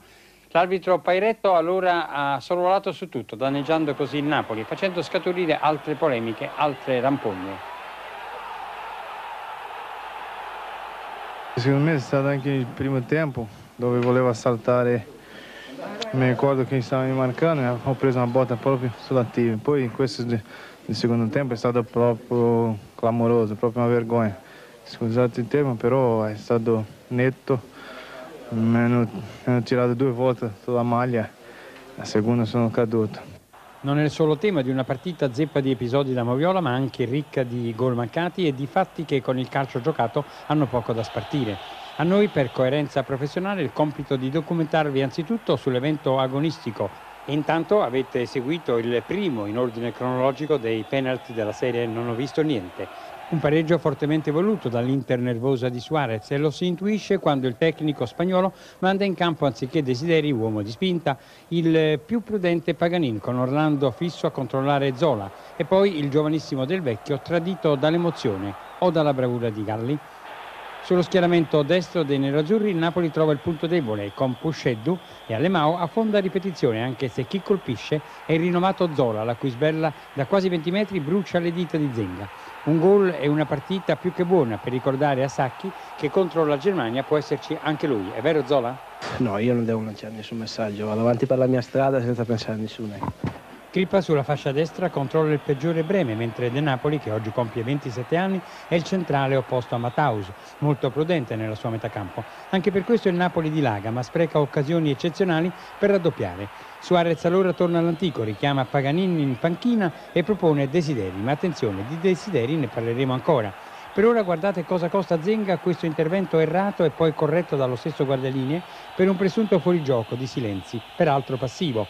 Protesta Zenga e si becca una munizione. Forse avrebbe meritato qualche cosa in più per ciò che ha detto. Un nervosismo denunciato poi anche negli spogliatoi, seppure con il sorriso sulle labbra. Le costerà la squalifica al prossimo turno, Zenga? Lei era diffidato? Non rispondo a queste domande. Se vogliamo parlare della partita lo facciamo. Va bene, allora parliamo della partita. C'era molto nervosismo in campo. Da parte Se lo vostra. dice lei? No, visto che avete un po' protestato, specialmente nella prima parte di È gara. una sua opinione, va rispettata. La moviola numero 2 ve la proponiamo richiamandoci al commento già fatto da Careca con il correttivo del nome di chi lo avrebbe atterrato, Battistini. Le proteste sono appena accennate perché il Napoli vince e perché diverte andando vicino al raddoppio una, due, tre volte. Quando commette errori difensivi ha la fortuna di vedere sbagliare anche gli avversari. Una sagra di errori che si conclude solo perché il signor Pairetto manda tutti negli spogliatoi per il riposo. Imperterrito però anche nei secondi 45 minuti Fontolani insiste e si aggiudica dopo una bella lotta con Careca la palma del migliore. A dare altro gusto alla gara ci pensa Desideri che dopo aver segnato il pareggio fa sentire la sua voce polemica a Suarez evidenziando a tutti quali tensioni esistano tra la squadra e il tecnico. Suarez, un eh, pareggio che muove la classifica dell'Inter, fa bene naturalmente, rigenera un po' tutto, forse anche lo spogliatoio, ma una tiratina d'orecchia a Desideri? No, è quello che mi interessa a me è il punto, è come hanno fatto la partita i ragazzi, soprattutto dopo essere andato in svantaggio. Poi per il resto sono cose che metteremo a posto piano piano. Tempi ancora grigi per l'Inter dunque, mentre la platea del San Paolo si diverte di meno quando viene atterrato Silenzi e Pairetto dice ancora di no, anche perché vede gli azzurri spegnersi sul piano atletico ed anche su quello tattico e la vittoria possibile dunque si allontana. Nelle sostituzioni di Montanari per Ferri e di Silenzi per Padovano mutano alcunché. Per questo l'atterramento di Careca alla mezz'ora fa scatenare l'ira, per fortuna solo vocale, dei 60.000. Ma come mai questo Napoli manca all'appuntamento nel momento decisivo? Ma manca l'appuntamento, oggi ci siamo andati molto vicino, abbiamo lasciato tre palle all- all'Inter, una sullo 0-0 e altre sull'1-0. Abbiamo poi fatto gol, abbiamo disputato una gara bellissima, soprattutto nel primo tempo ci sono state molte occasioni eh, per la nostra parte, non siamo riusciti però a chiudere la partita e l'Inter nella prima occasione del secondo tempo ha pareggiato e poi si è chiusa là dietro e è riuscita a portare in porto approssimativo e tanti errori nello 0-0 di Inter Torino, nono pareggio interno dei nerazzurri, sesto fuori casa per i Granata. In palio la classifica per la Coppa UEFA, ma di europeo si è visto poco o niente. Giornata negativa per le maglie numero 1, sono stati espulsi entrambi i portieri, come vedremo. Forse ha avuto fortuna Zenga, fermato dalla squalifica. Marchegiani, appena salvato da Mussi su tiro di Fontolan, prima esce a vuoto, poi ferma un tentativo di Breme. In area continua la serie degli errori accompagnati da lunghe fischiate degli spettatori. Verso la fine del tempo Marchegiani tocca con le mani fuori area un pallone alto e l'arbitro Stafoggia lo manda negli spogliatoi. Esce anche Bresciani, in porta va di Fusco. Prima del termine altri fischi per Fontolan che spreca un lancio di Matteus. All'inizio della ripresa Lentini scatta bene e Breme lo ferma così. L'Inter sfiora il gol con Baggio, tiro respinto dal palo, poi l'azione sfuma.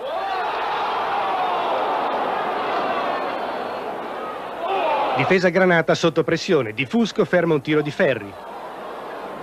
Va via Lentini, punta unica isolata per l'Inter, sono guai.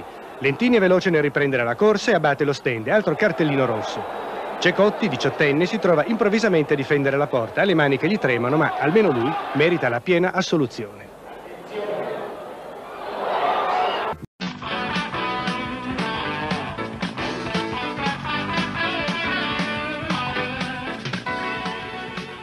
Un pizzico di fortuna in più per l'Inter che ritrova anche i gol di Klisman, un errore di troppo per l'Ascoli che contro avversari così nobili anche se per la verità un po' decaduti non può certo permettersi il lusso di sbagliare un calcio di rigore. L'Inter si presenta spavaldi e aggressiva con un centrocampo tutto votato all'offensiva con insieme Berti, Desideri, Bianchi, Orlando e Matteus che giostrano molto avanzati. Dietro alle spalle di tutti un Breme in veste di libero con licenza di sganciarsi. Insomma un atteggiamento tattico spregiudicato che riesce sì a costruire un paio di opportunità ma finisce con l'essere punito quando scatta il contropiede ascolano. Perfetta sovrapposizione sulla zona di sinistra di Pergolizzi, cross preciso per Birov che dà ai suoi un grosso dispiacere. L'Inter sembra incredula ma non muta atteggiamento. Lorieri deve tamponare su Ciocci e Ferri, ma la lezione non è servita ai nerazzurri, che continuano a prestare il fianco, quello destro dello schieramento difensivo, al contropiede marchigiano. E Pezzella fa finta di niente quando Ferri affossa ancora Birov in piena area. Quando sembra che l'Inter contro quest'Ascoli non riesca più a trovare spazi utili, Bianchi inventa un buon pallone per Klisman che evita un paio di bianconeri con un eccellente controllo aereo e pareggia. La partita cambia non tanto perché l'Inter ha raggiunto l'1-1, quanto perché Berti si infortuna e viene sostituito da Montanari, che agisce in zona molto più arretrata e si fa apprezzare in fase di interdizione, e Aloisi lascia il posto a Mancini, che toglie spazio a Klisman. Tutto dunque sembra ancora più bloccato di prima, ma è destino che le emozioni non manchino. In apertura di ripresa, Zaini approfitta di uno svarione di Montanari e Orlando e quest'ultimo gli frana addosso è indiscutibile rigore che l'arbitro concede ed è anche il primo della stagione per l'Ascoli. La sorpresa è tanta per i bianconeri che Verwurt pensa bene di telefonarlo a Zenga, al quale non par vero respingere con un piede. E di fronte a tanta generosità l'Inter non ricambia. Pizzi, che aveva preso il posto di Ciocci, si fa vedere da Breme impegnato in uno dei suoi frequenti, forse anche troppo, sganciamenti, Tira su Lorieri che respinge proprio su Klisman che senza neppure rendersi conto segna il decisivo 2-1. Il resto non ha storia. I neroazzurri denunciano qualche limite di tenuta, l'Ascoli ha speso troppo e nel generoso forcing finale non crea nulla di buono, anzi rischia un'ulteriore beffa. Questa partita prendiamolo proprio con i due punti e poi vediamo piano piano di sistemare se è possibile qualche cosa, questo è chiaro. Però nel calcio ci stanno anche questi tipi di partite, La, diciamo che è un, per noi molto bello in questo senso, cioè che magari altre volte facevamo meglio e non riuscivamo a vincere, oggi abbiamo fatto magari meno bene e abbiamo vinto. A me dispiace tantissimo anche perché i risultati domenica dopo domenica possono anche arrivare, visto l'andamento del gioco in campo. E questo dispiace doppiamente perché insomma, qualche punto in più sicuramente lo avremmo non solo meritato ma era tranquillamente alla nostra portata. Ecco, il rammarico è proprio questo.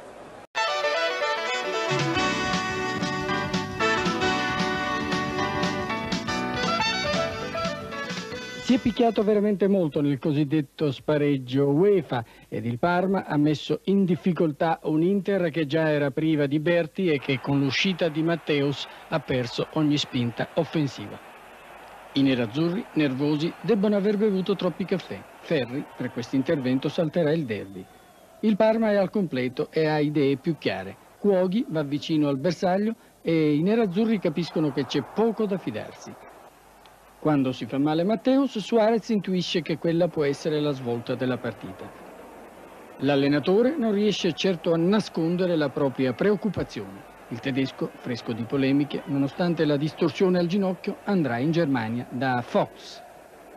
Il pomeriggio sembra stregato. Il Parma potrebbe approfittarne. Cuoghi, Osio, Zoratto, Di Chiara e Grun creano gioco e preoccupazioni per Zenga. Ora l'unica possibilità nerazzurra di portare qualche palla avanti pericolosamente è affidata a Breme. Ma anche lui è nervoso e si becca una munizione. Un po' tutto sembra tramare contro i tedeschi. Il povero Klinsmann, guardatelo sulla sinistra del teleschermo, comprende a proprie spese cosa sia la lira pesante. Figuriamoci le 100 lire pesanti, un autentico macigno.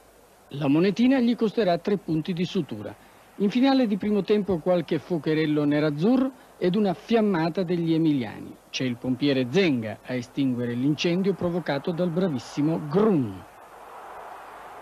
Nella ripresa nessun pericolo per le coronarie, lo 0-0 è buono come il pane e dichiara, ricordandosi delle sue origini di slalomista imperterrito, qui pretenderebbe il rigore. Eh, mi è parso calcio di rigore. Ovviamente non vorrei ecco, dirla per certa la cosa, dovrei rivederla in televisione, mi pare il pallone non è stato toccato, sono stato chiuso in due in aria, di regola dovrebbe essere rigore. Battistini esprime il disagio dei nerazzurri. Sentiamo che appunto intorno a noi eh, non c'è dei consensi positivi, quindi spesso uno in campo eh, non riesce a esprimersi al meglio, anche perché appunto io credo che nel calcio a prescindere dai guadagni e tutto ci vuole anche un po' di tranquillità e spesso questo può pregiudicare una buona prestazione. Forse se una squadra doveva vincere il Parma, almeno per quanto riguarda le occasioni avute nel corso del primo tempo, Scala? Ma direi di sì anche se non voglio così andare a toccare questo tasto che è sempre pericoloso. Io sono contento di come si è espressa la squadra, eh, abbiamo fatto un primo tempo bello dove avevamo, abbiamo avuto le occasioni per andare in, in vantaggio, però accettiamo questo, questo pareggio con grande tranquillità. Derby della Madonnina numero 213, 14 punti, il divario in classifica fra Milan ed Inter, mai accaduto, ed alla fine i rossoneri si sentiranno più vicini allo scudetto. Al derby milanese mancano soltanto alcuni personaggi eccellenti come Matteus, Gullit, Ferri e Rossi. I forzati del pallone ci sono tutti. Le galline di Pasqua fanno le uova con sorpresa finale. Suarez ha una squadra tonica e inizialmente è il Milan a soffrire. Il terreno è quello delle grandi occasioni e Zenga se ne accorge. Berti ha spunti invidiabili ma fiato corto. La difesa rossonera è costretta a recuperi affannosi. Nella porta milanista c'è Antonioli che ferma in tuffo lo scatenato Desideri. L'interista pretende il rigore e forse non ha tutti i torti. Rivediamola questa azione che porterà all'ammonizione di Desideri, un'ammonizione che peserà sull'andamento della partita. Rijkaard sull'altro fronte viene trascinato a terra per la maglia da Baggio. Il difensore agisce con grande astuzia. La partita è molto combattuta e l'Inter riesce a imbrigliare un Milan che non trova spazi. Non sono in gran giornata i rossoneri, ma vanno sempre in avanti, sia pure in maniera prevedibile. Sembra che lo 0-0 sia inevitabile a questo punto, ma improvvisamente ecco la svolta. Desideri fa fallo su Albertini e la seconda ammonizione fa scattare l'espulsione. È il momento delicato del derby milanese che provocherà polemiche nel dopo partita. Suarez capisce che in 10 sarà dura. Il capocannoniere Van Basten comincia male il secondo tempo e l'Inter sfiora il bersaglio. Klinsmann non è fortunato quando timbra il montante. Il suggerimento è di Fontolan. La lotta diventa aspra e volano dei colpi più o meno proibiti. I nerazzurri giocano disinvoltamente anche in 10. Intanto la Juve sta perdendo e i rossoneri sembrano nella bambagia. La squadra di Capello comunque cresce nel finale grazie anche al grande impulso che le dà Rijkaard, ma mancano sempre gli sbocchi felici. Montanari fa la danza dell'infortunato ed entra Beppe Baresi. Con l'innesto di Fuser Capello cerca di cambiare il gioco rossonero e alla fine ha ragione. Massaro pesca il jolly e infligge all'Inter una sconfitta bruciante che a Suarez non va giù come si capisce dalle interviste di Amedeo Goria. La svolta della partita è avvenuta con l'espulsione di Desiderio perché concedere un uomo al Milan penso che sia un po' troppo, nonostante tutto abbiamo contenuto bene, abbiamo condotto la partita in un certo modo e penso che il pari almeno ci stava. Arbitro sotto accusa dunque? No, no, io non accuso nessuno. Tempo fa per dire una cosa così che mi sembrava normale e logica ho preso 10 milioni di multa, non penso più di aprire la bocca sugli arbitri. Il Capello per la prima volta parla di scudetto. Diciamo che adesso siamo molto più tranquilli, 6 punti, 5 partite, 10 a disposizione, siamo un po' più rilassati. Puoi già dire la formazione del Milan per il debutto in Coppa Campioni? No, te lo dirò quando la matematica ci dà ragione. A San Siro una grande Juventus, un grande Baggio, ma soprattutto un Inter in ginocchio. Le dichiarazioni di Zenga a fine gara avranno certamente un seguito. Ascoltiamole. Eh beh, la dimostrazione che comunque il Trap, eh, quando ha deciso di andarsene da qua, si sarebbe dovuto fare qualcosa di più per tenerlo. La gente fa bene, la gente dovrebbe non farci più uscire dallo stadio, quantomeno chiedere la testa in blocco di tutti i giocatori. Non mi vergogno a dirlo, ma d'altronde di questa squadra qua che merita l'Inter mi sembra che ce ne siano forse nessuno. Eh, ci sarebbe molto da fare molto, soprattutto a livello uh, di professionalità, di, di, modo di interpretare le partite, di modo di, di, interpretare una società che si chiama Inter. Io non, non, credo che, non mi sto chiamando fuori assolutamente perché mi ci metto io per primo, se io l'ho già detto un'altra volta e lo torno a ripetere, se qualcuno eh, vuole la mia testa io mi metto da parte sicuramente. In questo momento la mia grande eh, delusione mi porterebbe anche a chiedere di, di, essere ceduto da questa squadra, perché non vedo come possa essere, mm, non vedo più in là di, di domenica prossima, e questo è il guaio peggiore, e non vedo sicuramente una reazione degna da parte dei miei compagni. Già, tra pattoni, lo scudetto, la coppa, i ricordi. Nel calcio tuttavia non c'è spazio per la nostalgia. La Juventus è una squadra vera anche senza Colà. L'Inter da tempo dimostra limiti ed essendo priva di Matteus non possiede nemmeno la forza necessaria per promuovere il gioco e per attaccare. È molto ben messa sul campo la Juve invece ed il palo di Casiraghi dà la netta sensazione che i nerazzurri non abbiano scampo. Il primo gol bianconero nasce da questo intervento di Bergomi sull'effervescente di Canio, un intervento sul quale l'arbitro non ha dubbi. Gli interisti forse si lamentano per un complesso di decisioni sfavorevoli. Baggio è un maestro dagli 11 metri. E per la verità c'è questa manata di Julio Cesar su Klinsmann a indispettire gli interisti. Ma che dire sulla manovra bianconera del secondo gol? Baggio e Casiraghi duettano alla grande è un gran gol che ha l'effetto di un KO per l'Inter. Da parte loro, i nerazzurri non riescono a dar concretezza nemmeno alle occasioni più propizie. Suarez nel secondo tempo manda avanti la fanteria. Ferri cerca il gol prima che Reuter, Baggio e Schillaci mettano in cantiere l'azione della seconda rete. Anche questa è una manovra che mette a nudo le carenze degli interisti e l'abilità dei bianconeri che si rivelano anche brillanti. Reuter e Galia, a parte Baggio, sono implacabili. Insomma, la reazione dell'Inter ed il gol del 3-1 propiziato da Fontolan non riescono ad addolcire un calice amarissimo. Alla fine c'è chi rimpiange Enrico, mentre Roberto Baggio, uscito fra gli applausi, dice Oh, sì, mi fa piacere così che, che uno stadio intero mi ha applaudito, però purtroppo un problema ad un tendine, alla fine del primo tempo mi dava fastidio, allora avevo chiesto al mister così se, se avessi avuto ancora noia di uscire, tutto qua. Si sente il leader della Juve? Ma io l'ho sempre ripetuto, io in una squadra non c'è un leader solo, ci sono dei grandi giocatori che fanno una grande squadra.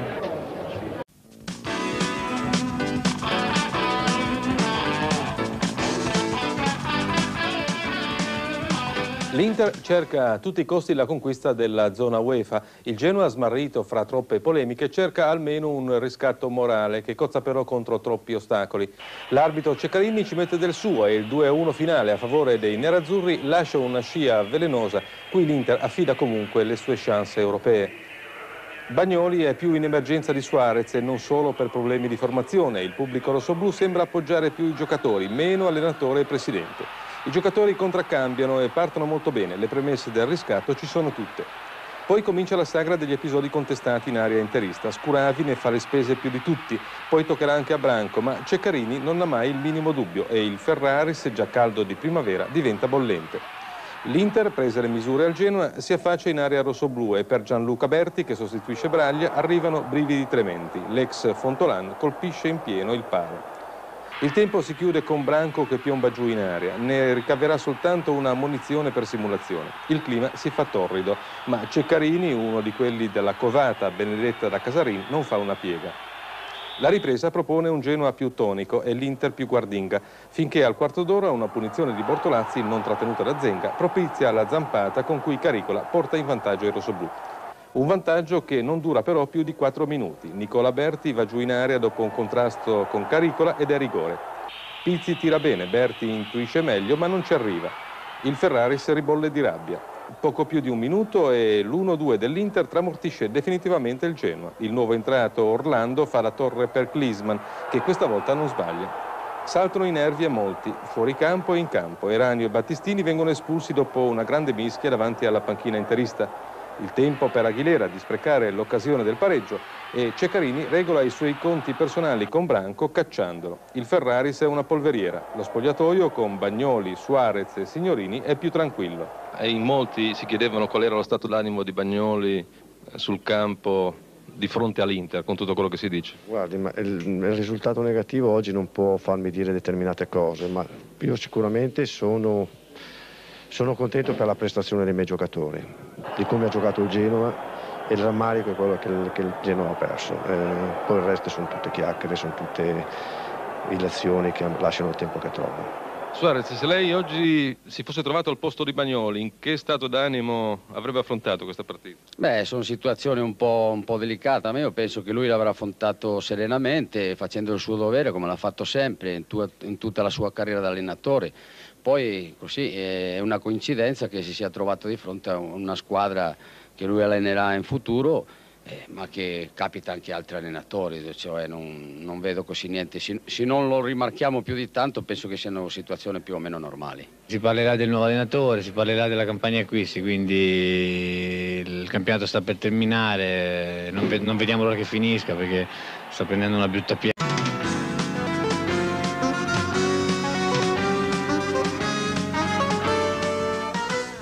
Dopo 17 anni consecutivi l'Inter rischia di non partecipare a una Coppa Europea. A tradire i nerazzurri il campo nemico di San Siro, dove nelle ultime sei partite hanno raccolto la miseria di tre punti con due soli gol all'attivo. Il cambio d'allenatore, il passaggio da Orrico a Suarez, la zona prima e il modulo a uomo poi, tutte quisquiglie e pinzillacchere, come direbbe Totò, perché quando i giocatori non giocano o lo fanno male, alla fine i risultati non arrivano e le contestazioni, violenta e ormai consueta quella al presidente Pellegrini, fioccano. Oggi, con la Cremonese, soltanto Breme è riuscito a strappare applausi. Come libero è stata una garanzia, anche forse per il futuro. Per il resto, normale impegno, qualche occasione e troppi errori. Berti spesso al posto giusto con la mira sbagliata e approssimazione. Guardate Klinsmann. Con Dino Baggio e Desideri smarriti a centrocampo e Ferri e Bergomi non certo tranquilli contro le accelerazioni grigio-rosse, ecco il crollo interista nella ripresa, con l'azione del plastico gol di De Zotti ad ammutolire i tifosi nerazzurri, proprio nella domenica del trionfo milanista, e ad esaltare i cremonesi, che non vincevano in trasferta da 13 mesi. Poi una traversa di Berti. E, in contropiede, De Zotti che spinge Zenga al fallo per trafiggerlo nel rigore del clamoroso 2-0. Ed ora le lacrime di Suarez, le smorfie di Berti e la gioia di De Zotti. Purtroppo, ripeto, non, non so cosa ci succeda qui queste partite, non c'è verso di fare un gol, non c'è verso di... di... Sì, dopo che passa un po' la partita siamo tutti come, come rassegnati, come... Sì, come... Siamo come sicuri di che non va oltre allo 0-0. Oggi direi che è uno dei delle tante parentesi negative di quest'annata, è andata malissimo. Vorrei trovare una squadra di Serie A prima di tutti e questo i dirigenti della Cremonese lo sanno.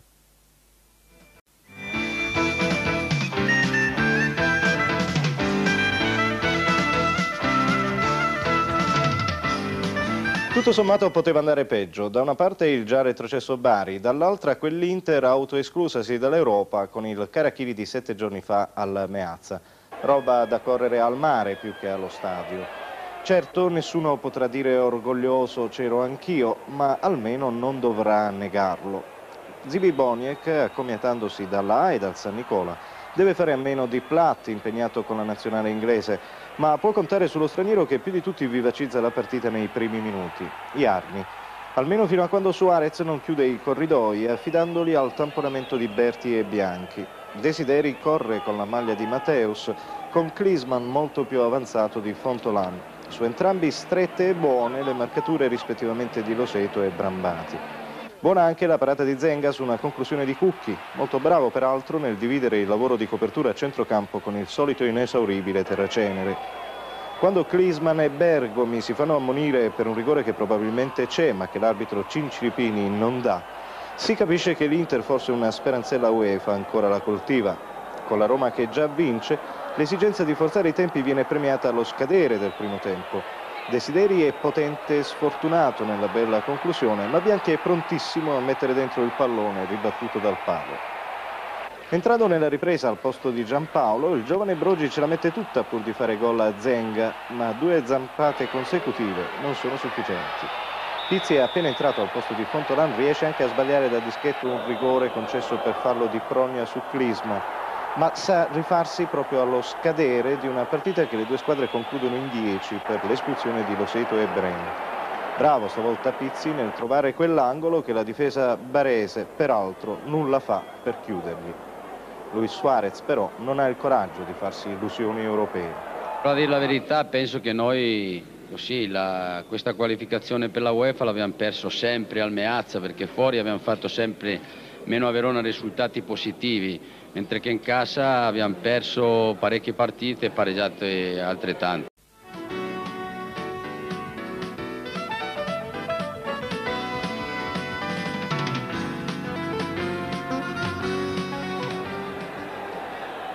Guardate il timer del secondo tempo. 41 minuti scarsi di sterili pedate e poi l'invasione liberatoria.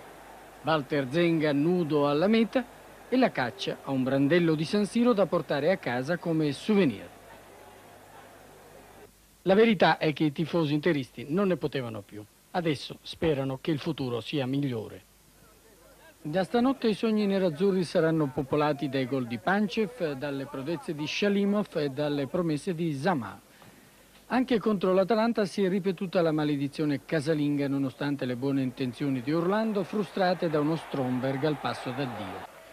Breme ha detto a Fidersen personalmente ai tifosi, Ferron è stato molto bravo. I bergamaschi hanno esaltato le virtù di Zenga, Pasciullo per esempio. Insomma, tanta buona volontà, poche idee e la solita impotenza offensiva che ha reso l'attacco interista uno degli ultimi cinque del campionato. Eppure Fontolan e Klinsmann ci hanno provato. Dovranno fare un corso di tiro a segno. Orlandini, in assenza di Caniggia, ha mandato un messaggio minaccioso al portiere interista, mentre Beppe Baresi si è fatto l'ultima sgambata sul prato di San Siro. Perrone si è bevuta la difesa dell'Inter come fosse un bicchiere d'acqua fresca ma Giorgi, che lascerà l'Atalanta, non è riuscito a vincere la partita. Zenga così si è offerto in olocausto alla folla come salvatore della patria. Arrivederci all'anno prossimo.